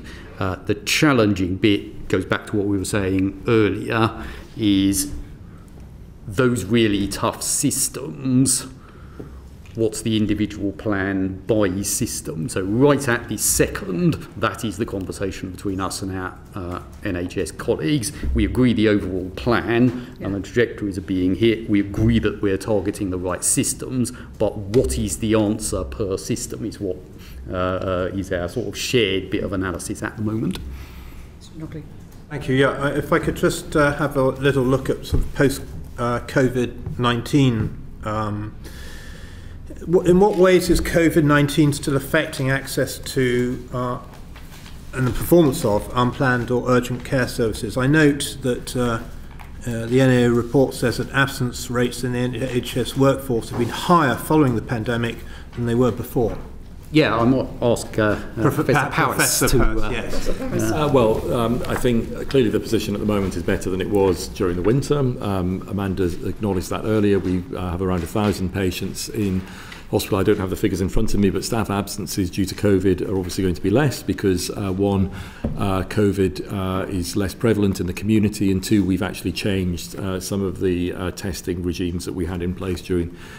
the height of the pandemic.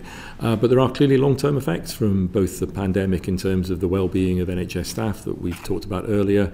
Uh, we do, uh, some of our staff are unfortunately impacted by long COVID as well. So uh, we do have some issues uh, ongoing uh, coming out of of the pandemic. Um,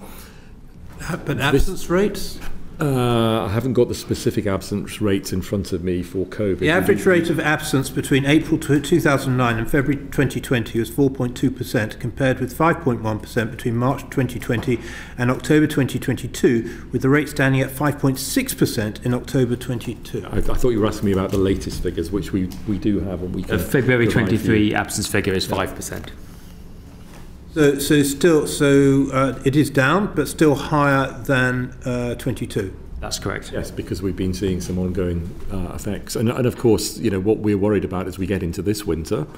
Uh, that we will see. How can ongoing effects be worse than what was going on during the pandemic? That absence would be worse now than during the pandemic. Mm. Well, I think we are. Um, well, we're definitely seeing um, um, as we come out of this winter, we've seen the ongoing effects of COVID infections. I'd, I'd have to have look yeah, specifically well, at the so figures. Do you want me to jump yeah, in on, on this one because it reflects a bit to I think to what we were talking about earlier. So within the within what why people are off sick, it is as I said earlier three big reasons. So musculoskeletal issues, that's been a long-standing issue across the health service for as long as I can certainly remember. Uh, the things that have gone up specifically are respiratory conditions that includes COVID. So that goes up and down a bit, um, depending as exactly as Professor Power says, on the level of COVID circulating in the general community. Uh, but the third is mental health. And it is worth saying that I think um, there was, a, uh, as we've all discussed, an extraordinary response across the NHS during COVID. Mm-hmm. And people, I mean, thank you for, for your comments on this earlier, uh, Mr. Francois, but people did do the most extraordinary things on a personal and a professional level. But mm-hmm. that does have a long term impact. That's well understood. It's not just in this country that we're seeing that. And so we are seeing some of that in the current sickness figures.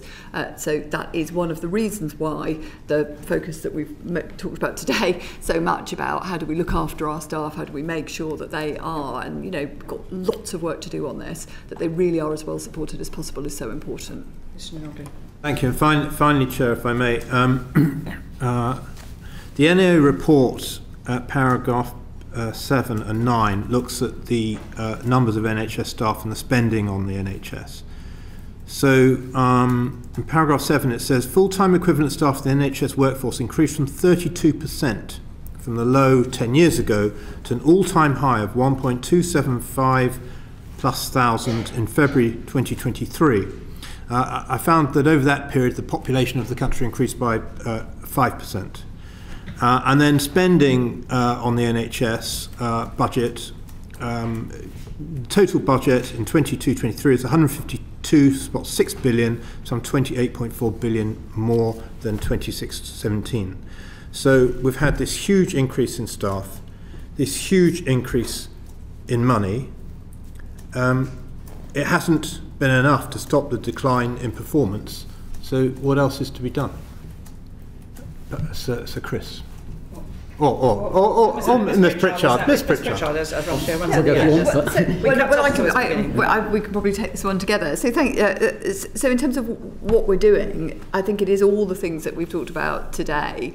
Uh, we talked earlier about the fact that, of course, the urgent emergency care recovery plan isn't in isolation. There's an elective recovery plan, there's a primary care access recovery plan. We've just published the long term workforce plan. So I think we've been really clear about what the areas are that were most impacted by the pandemic period. I think Professor Powers said, and I've quoted it to this committee before, right at the beginning, that it was going to be at least a five year journey from the very peak of that very acute level of pandemic response, but the recovery was going to take time. So we are only partway through that, but we've been really clear what the areas are that uh, the public rightly want us to prioritise in terms of recovery. And I should say that doesn't mean we're ignoring mental health or ignoring, uh, when we talk about elective, that obviously includes cancer, but it doesn't mean we're ignoring maternity services or children and young people, but we are being very clear what it is that we need to focus the energy and effort on. And we've set out, I think, very clearly what the steps are that we're taking. And at the moment, um, you know, there is a huge amount to do, but the good news is we are on track with the actions that were set out in the plan. And at the moment, if we look at the latest figures, we talked about this earlier on uh, briefly, we have seen improvement across yep. the board, not just since winter. But actually, if you look at this time, uh, so if you look at the latest figures in May, those are the latest published figures against uh, May last year, you can see that there has been improvement. So I think uh, what we feel is we're now able to say quite clearly that the things that we have been doing are beginning to make a difference. But we've got uh, a very clear set of actions, both for this winter and beyond, to put us in well, what yeah. hopefully and then, a more sustainable I mean, the bit, over the long term. So, so, so the bit I'd add is the bit that goes beyond the uh, NHS. So when, yeah. when we look internationally, um, demand for health, of course, the OECD goes up at about 4% a year. Yes. Yeah. Uh, at, um, and it's largely driven, obviously, by how, how, how many old people do you have rather yeah. than the yeah. total population. Yeah. Uh, so how are you going to meet that? Quite clearly, some of it has to be increasing in uh, increase in supply. Some of it has to be productivity, as we discussed earlier. Some of it has to be public health, i.e., reducing that 4% demand, and then some of it has to be uh, technology. Uh, to, so, if we're going to meet that sort of relentless 4% a year, basically, it's going to come have to come out of those four things. And could I add, because we started with the demographics about us getting older, and clearly we're all getting older all the time, but, but it, is, it is the underlying trend. So in the 15 years that the workforce plan covers, we anticipate, uh, I think it's ONS figures,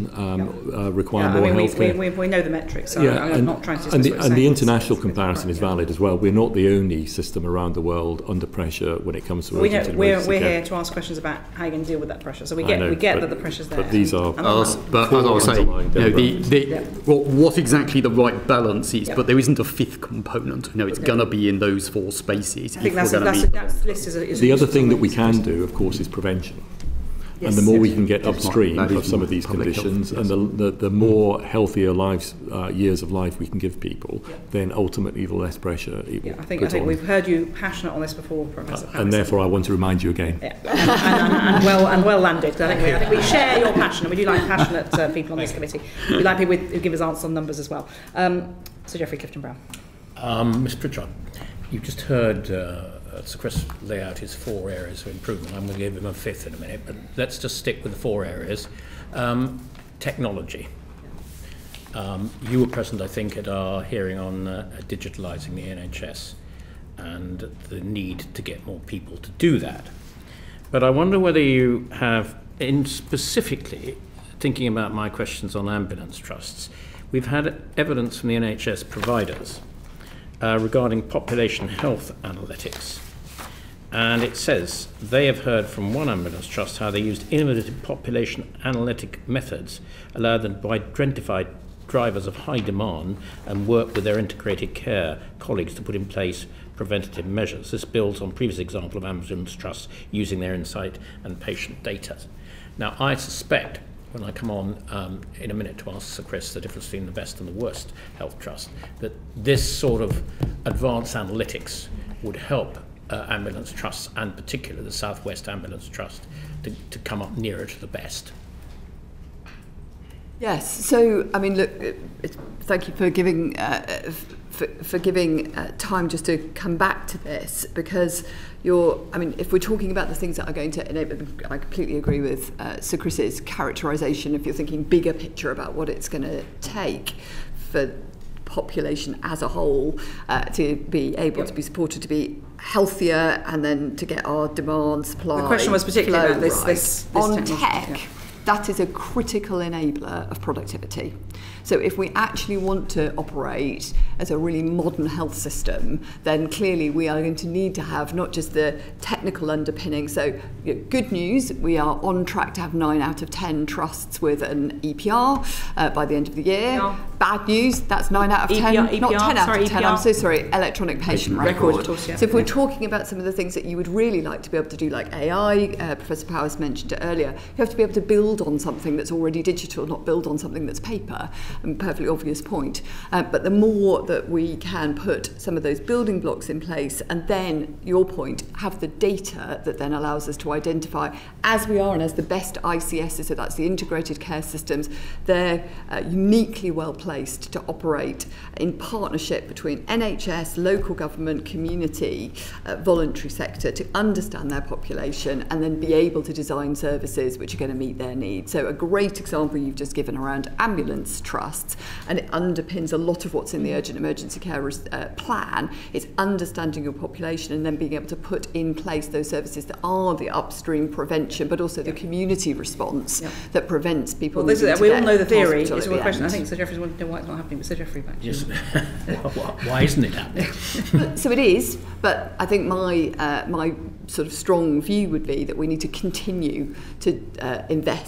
in technology. We need to continue, as we are, for example, with the federated data platform, to invest in putting the data systems in place that are then going to enable us to really exploit the benefit of actually having the data and the technological underpinnings to allow us to become that really modern health system. But we are doing it. It's already paying dividends. And uh, I think the challenge will be just to continue that journey. Yeah, when we, I mean, again, when we looked internationally, and this went into a lot of the thinking that created uh, integrated care systems in the first place. Uh, we saw quite a lot of examples around the world of where places had done population health yeah, analysis yeah. well. Mm. What we didn't see uh, was people being able to do it at scale. And as far as we could um, analyse, the difference between doing it at scale um, and the sort of localised examples we said was all in the data. So it was all in the very practical of yeah. could you put together the data sets okay. and analyze them at scale so you can do the intervention okay. at exactly the right moment. Now, there are lots of good and bad things about the UK system, but actually being a, this is one of the areas where we ought to have an international uh, advantage if we can get the data curation right,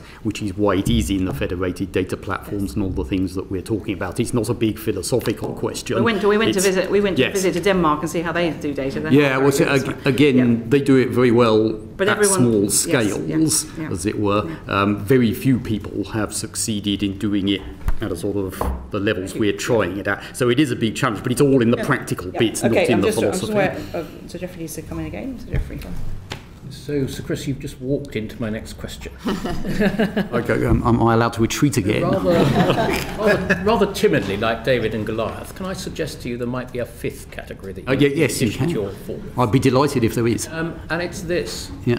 In virtually all the metrics that we've been talking about today, including uh, Marc Francois' bureaucracy, but I would add critically to that digital, if in every single trust, we brought the worst closer up to the best. It would completely transform the health service. Mm. What can be done about that? Uh, to, well, um, uh, that I mean, that's clearly. I, I, I'd still say that's in the four because that is very central to the productivity question, uh, which is um, to, uh, uh, clearly at the. Uh, uh, uh, clearly at the heart uh, of, uh, uh, of this. Um, tackling variability is clearly one of the biggest uh, priorities, and it's how you got uh, to the tiering system uh, in the first place. That is all about the variability, and it's all about the uh, uh, can we import the best we practice. That. We know it's all now, about the variability, yes. but how are we going to solve that? Variability? Well, we, we're going to solve yeah. it with specific programs of work. Um, so the GERF program, which you oh, will be familiar with, getting it right first time. Uh, the core tenet of that, of course, is, is absolutely what you said, is, is identifying variation and then working uh, hands-on with those organisations that are performing less well uh, to get them up to the, the position of the better trusts. Um, similarly, uh, a lot of our improvement work is uh, designed, and we've just uh, launched a new um, improvement programme within uh, the NHS in England, is, is around identifying that variation and ensuring people have got the improvement tools that they need uh, to improve the tiering approach that uh, uh, that um, Ms Marsh uh, mentioned, which is around uh, identifying those. For this, it's around systems rather than just individual trusts uh, that are performing at the worst end. Uh, it's around putting in the additional support that they need in order to bring them up to, to the better end. Uh, of course, the caveat is there'll always be some people below average and there'll be some people above average. I don't need to tell you that, but, uh, but moving the whole curve upwards uh, and and um, trying to reduce the um, the outliers uh, is absolutely what we're, yeah. we're trying to do. Uh, the bit I would add, uh, and again it goes into the think, thinking that went into the integrated care systems, is, is the right balance of national versus local. Yeah. So this report, this committee has reported yeah. a lot on you know, the big set piece, let's do it everywhere programs and how that and has not worked work, for yeah. a variety of reasons. No, there clearly are places for national yeah. interventions. One at a time, yeah. But yeah, there's also. We, we, understand that, yes. that, that postcode lottery is both good and bad. The, and the other difference we've made from probably a year ago is, is what I've just hinted at that we have moved from focusing on specific organisations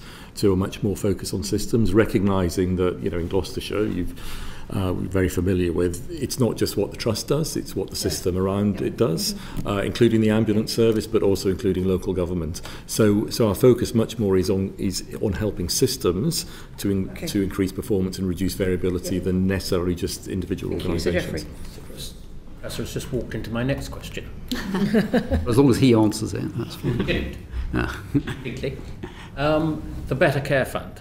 Yep. A lot of money. Yep and it is designed to do exactly what the professor's just been describing. Yep. To make different parts of the system work better. Yep. And it's presumably helping the integrated care boards. Yes. The problem with it is it's quite a lot of money, but often the different parts of the health service don't receive notification of what they're going to get until rather late in the day. Mm. And then they would be able to plan much better if they could have earlier warning of what they were going to get. Uh, yeah, I agree with that absolutely. Um, now the um, uh, the uh, uh, the autumn statement and the chancellor's announcement around this has hopefully given people uh, a uh, a clearer planning uh, basis. But I agree with the first of your question completely. Might the Better Care Fund help the question I was asking earlier, which is the uh, shortfall of 165,000 posts in social care? And this whole thing, that a lot of what's taken the discussion up today, uh, uh, melding, if you like, social care better in working with the health service. Is, is there more we could do with the Better Care Fund and the integrated care boards to solve this problem? Uh, undoubtedly, yes. So um, uh, the, um, the integrated care boards are very new. Uh, they're in quite different places depending upon their history. Some are very mature, um, and the style of working that you're describing is well entrenched. Others are much more uh, in the uh, uh, uh in the development phase. But uh, the only thing I'd add is there were. There, uh, to take your Gloucester example, there were two issues going on there. There was what is the base funding provided for adult uh, social care, you know, the uh, roughly 21 billion that is raised by local taxation that goes into the system. Uh, and then there's the couple of billion we put on top, which is much more, um, normally much, much more focused on that adult social care uh, health uh, interface um, which is where the integrated care boards come in. But the base investment in, as it were, the underlying system uh, is essential to make that work. So while, while, while the joint money is very important, what is the base level of the service and therefore the government's additional investments there. Um, I, think I, I, I think if representatives of local government were sitting here, they would say that bit um, is considerably more important than the joint bit because it's what's the quality of the underlying service. And who is going to be responsible for overseeing the work of the Intercredit care boards, given that they're not entirely a health uh, creation. They are partly health and partly local government. Who is going to be overseeing their work, their critical work? Right. So we have not changed the um, the, the basic legals, as you know. Yeah. So social care remains the primary responsibility of um, uh, local government. Uh, to, um, uh, so the ICBs will work um, they will certainly work best, but they work largely as a joint venture between two independent uh, bodies. And as I say, where relations are mature, that works uh, much uh, better. Uh, the thing we have changed, um, which was uh, in the uh, Health and Care Act that we've just passed, is for basically the first time. Um, we um, have um, uh, inspection oversight of uh, um, uh local government commissioning via CQC, uh, and we have compulsory data collections uh, so that we have a much better knowledge of the base knowledge of uh, what is being done in social care. So we have taken steps to create greater national oversight, both of the joint work and the uh, base work, but in a system where it is still you know, the responsibility of elected local councillors to be responsible for that uh, money. We haven't changed that. We have taken as a uh, piece of principle that both we and local government want to see things get better and want to solve these problems. And the ICB structure is to give a basis for you know, people who want to work together and want to solve these problems to do so, I wouldn't want to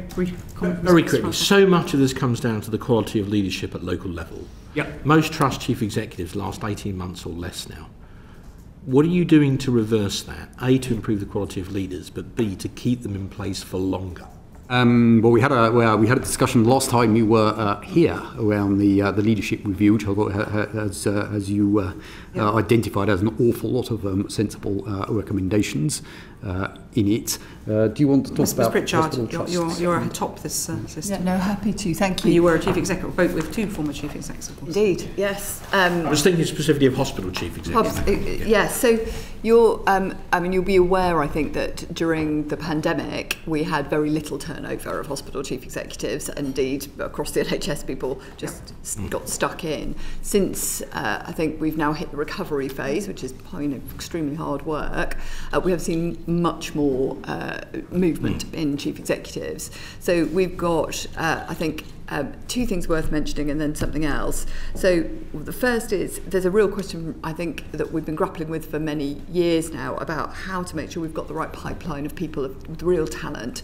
Uh, and that is, you know, this is one of my favourite subjects, not just people who've come up through a general management route, but they might be doctors, they might be nurses, they might be therapists, they might be accountants who've come through, and indeed we have many people who come through different routes to chief executive level, and we developed a program a number of years ago called an Aspiring Chief Executive Program, and that's been very successful in helping to develop people so they've got the skills, mm -hmm. so that we're setting people up to succeed rather than setting people up uh, without that support. Um, second thing is we've got uh, with the, the brilliant uh, work that uh, Sir Gordon Messenger and Linda Pollard did in their review, a really clear set of recommendations around not just chief executives or indeed not just executive teams, but actually the whole of uh, the leadership management across the NHS. But we've taken those recommendations and we are um, actually, I think, we're starting in a range of different ways, including induction, so both ends. But one of the things that we are doing as an urgent and early priority is putting the framework in place to ensure that chief executives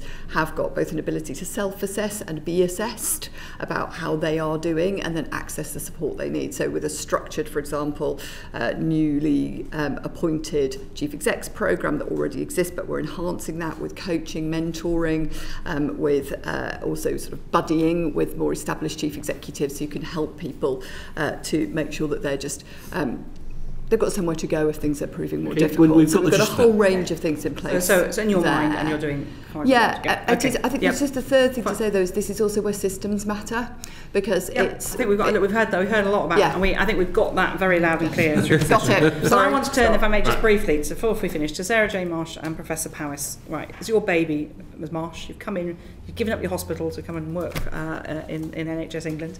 Um, so it's a big step. And you're six months on, uh, in delivering on this program, how, how confident are you that you're on track to sort out urgent and emergency care? So I think you can see the challenge uh, in front of us is significant. I think the UEC recovery plan is the right plan for the next 12 months to stand us in really good stead. Uh, we've both got the investment in the additional things that we've talked about, extra beds, ambulances, virtual wards and so on, but also changing the way we work, trying to keep more people at home rather than bringing them to hospital. And we can see the early signs of of success. We have seen improved performance uh, during the course of the year, particularly in April and May, and that's compared to the previous April and May. But I don't think we're remotely complacent about the winter that we've got ahead. We know we're going to face risks. Some of those are known. We don't know what the precise nature of COVID and flu. I think we've got early indications from the Southern Hemisphere that it might be a challenging flu season. We've also potentially got industrial action, which brings with it some uncertainty. So I feel really confident in the plan we've set out and the actions we're taking, but I don't think that it would be when fair. it hits the real world, when it hits the real world, there's an awful lot of challenge this winter. But I think our team, you know, the commitment is there to absolutely be focused. Between you, I mean, which targets are most at risk? Then, I mean, you've, hit, you've outlined some of the external challenges. Which targets in the plan are most at risk? I think the most challenging one from uh, my perspective is the 30 minute ambulance uh, response time because that's got many factors that, you know, or the whole system needs to work for that to work. Uh, as I say, we're absolutely focused on all the actions that we can do, both inside the ambulance uh, service itself and the ED apartment department and beyond to, to do it. I'm confident we'll do better uh, that we did last winter, but obviously we want to achieve this. But I think it's you know it is going to be tight, but we are managing. You mean particularly for, is that particularly for winter? You worry about? Uh, yeah, it, it, it's over the winter over, period, the, yeah, and then what that does because the way the target's measured is for the year as yeah, a whole. Yeah, yeah. So I think we will. So winter, to, winter is one of your big areas. Of, it, it, yeah. It's just the resilience of winter, yeah. and I think it's particularly in the systems that we've talked about here. So we might be able to achieve it in England overall,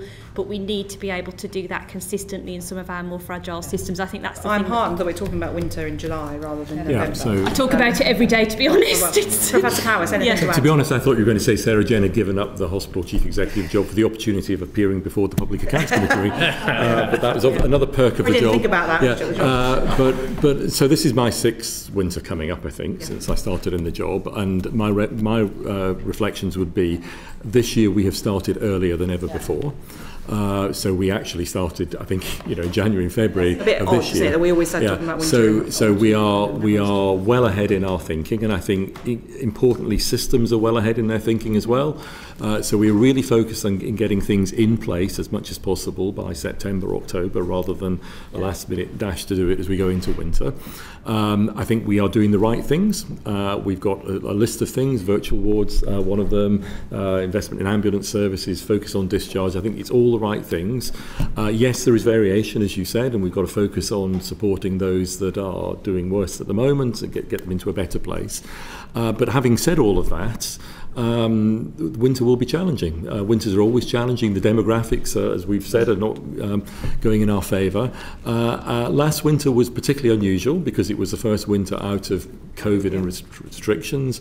Uh, so we had Group A strep out of season, we've had RSV, respiratory syncytial virus, out of season, we had COVID and flu occurring simultaneously, the twin yeah, We, we remember the pressures. And, so, so this winter, I hope, will be a little bit less unusual, but we will still have COVID and flu. And as Sarah Jane has said, the season season in Australia is, has been another early season, so their flu season started early in their winter this year. Uh, in the in the last two flu seasons we've had actually in the 2018-19 and in last year we had a December peak which is a bit more unusual it's usually January so we could get an early flu uh, peak again it could still be a significant peak and it could occur simultaneously with covid and there's no doubt that that will put pressure on us that we haven't seen in the in the years pre-covid uh, and with, with all those underlying demographic changes. Okay, which so have still, not changed. so you put in all the caveats. So, a lot so, so, um, so yes, I think we we are doing everything that we can, uh, but still, uh, you know, we will okay. need a better winter. Uh, and of course, the public always do their bit by using services sensibly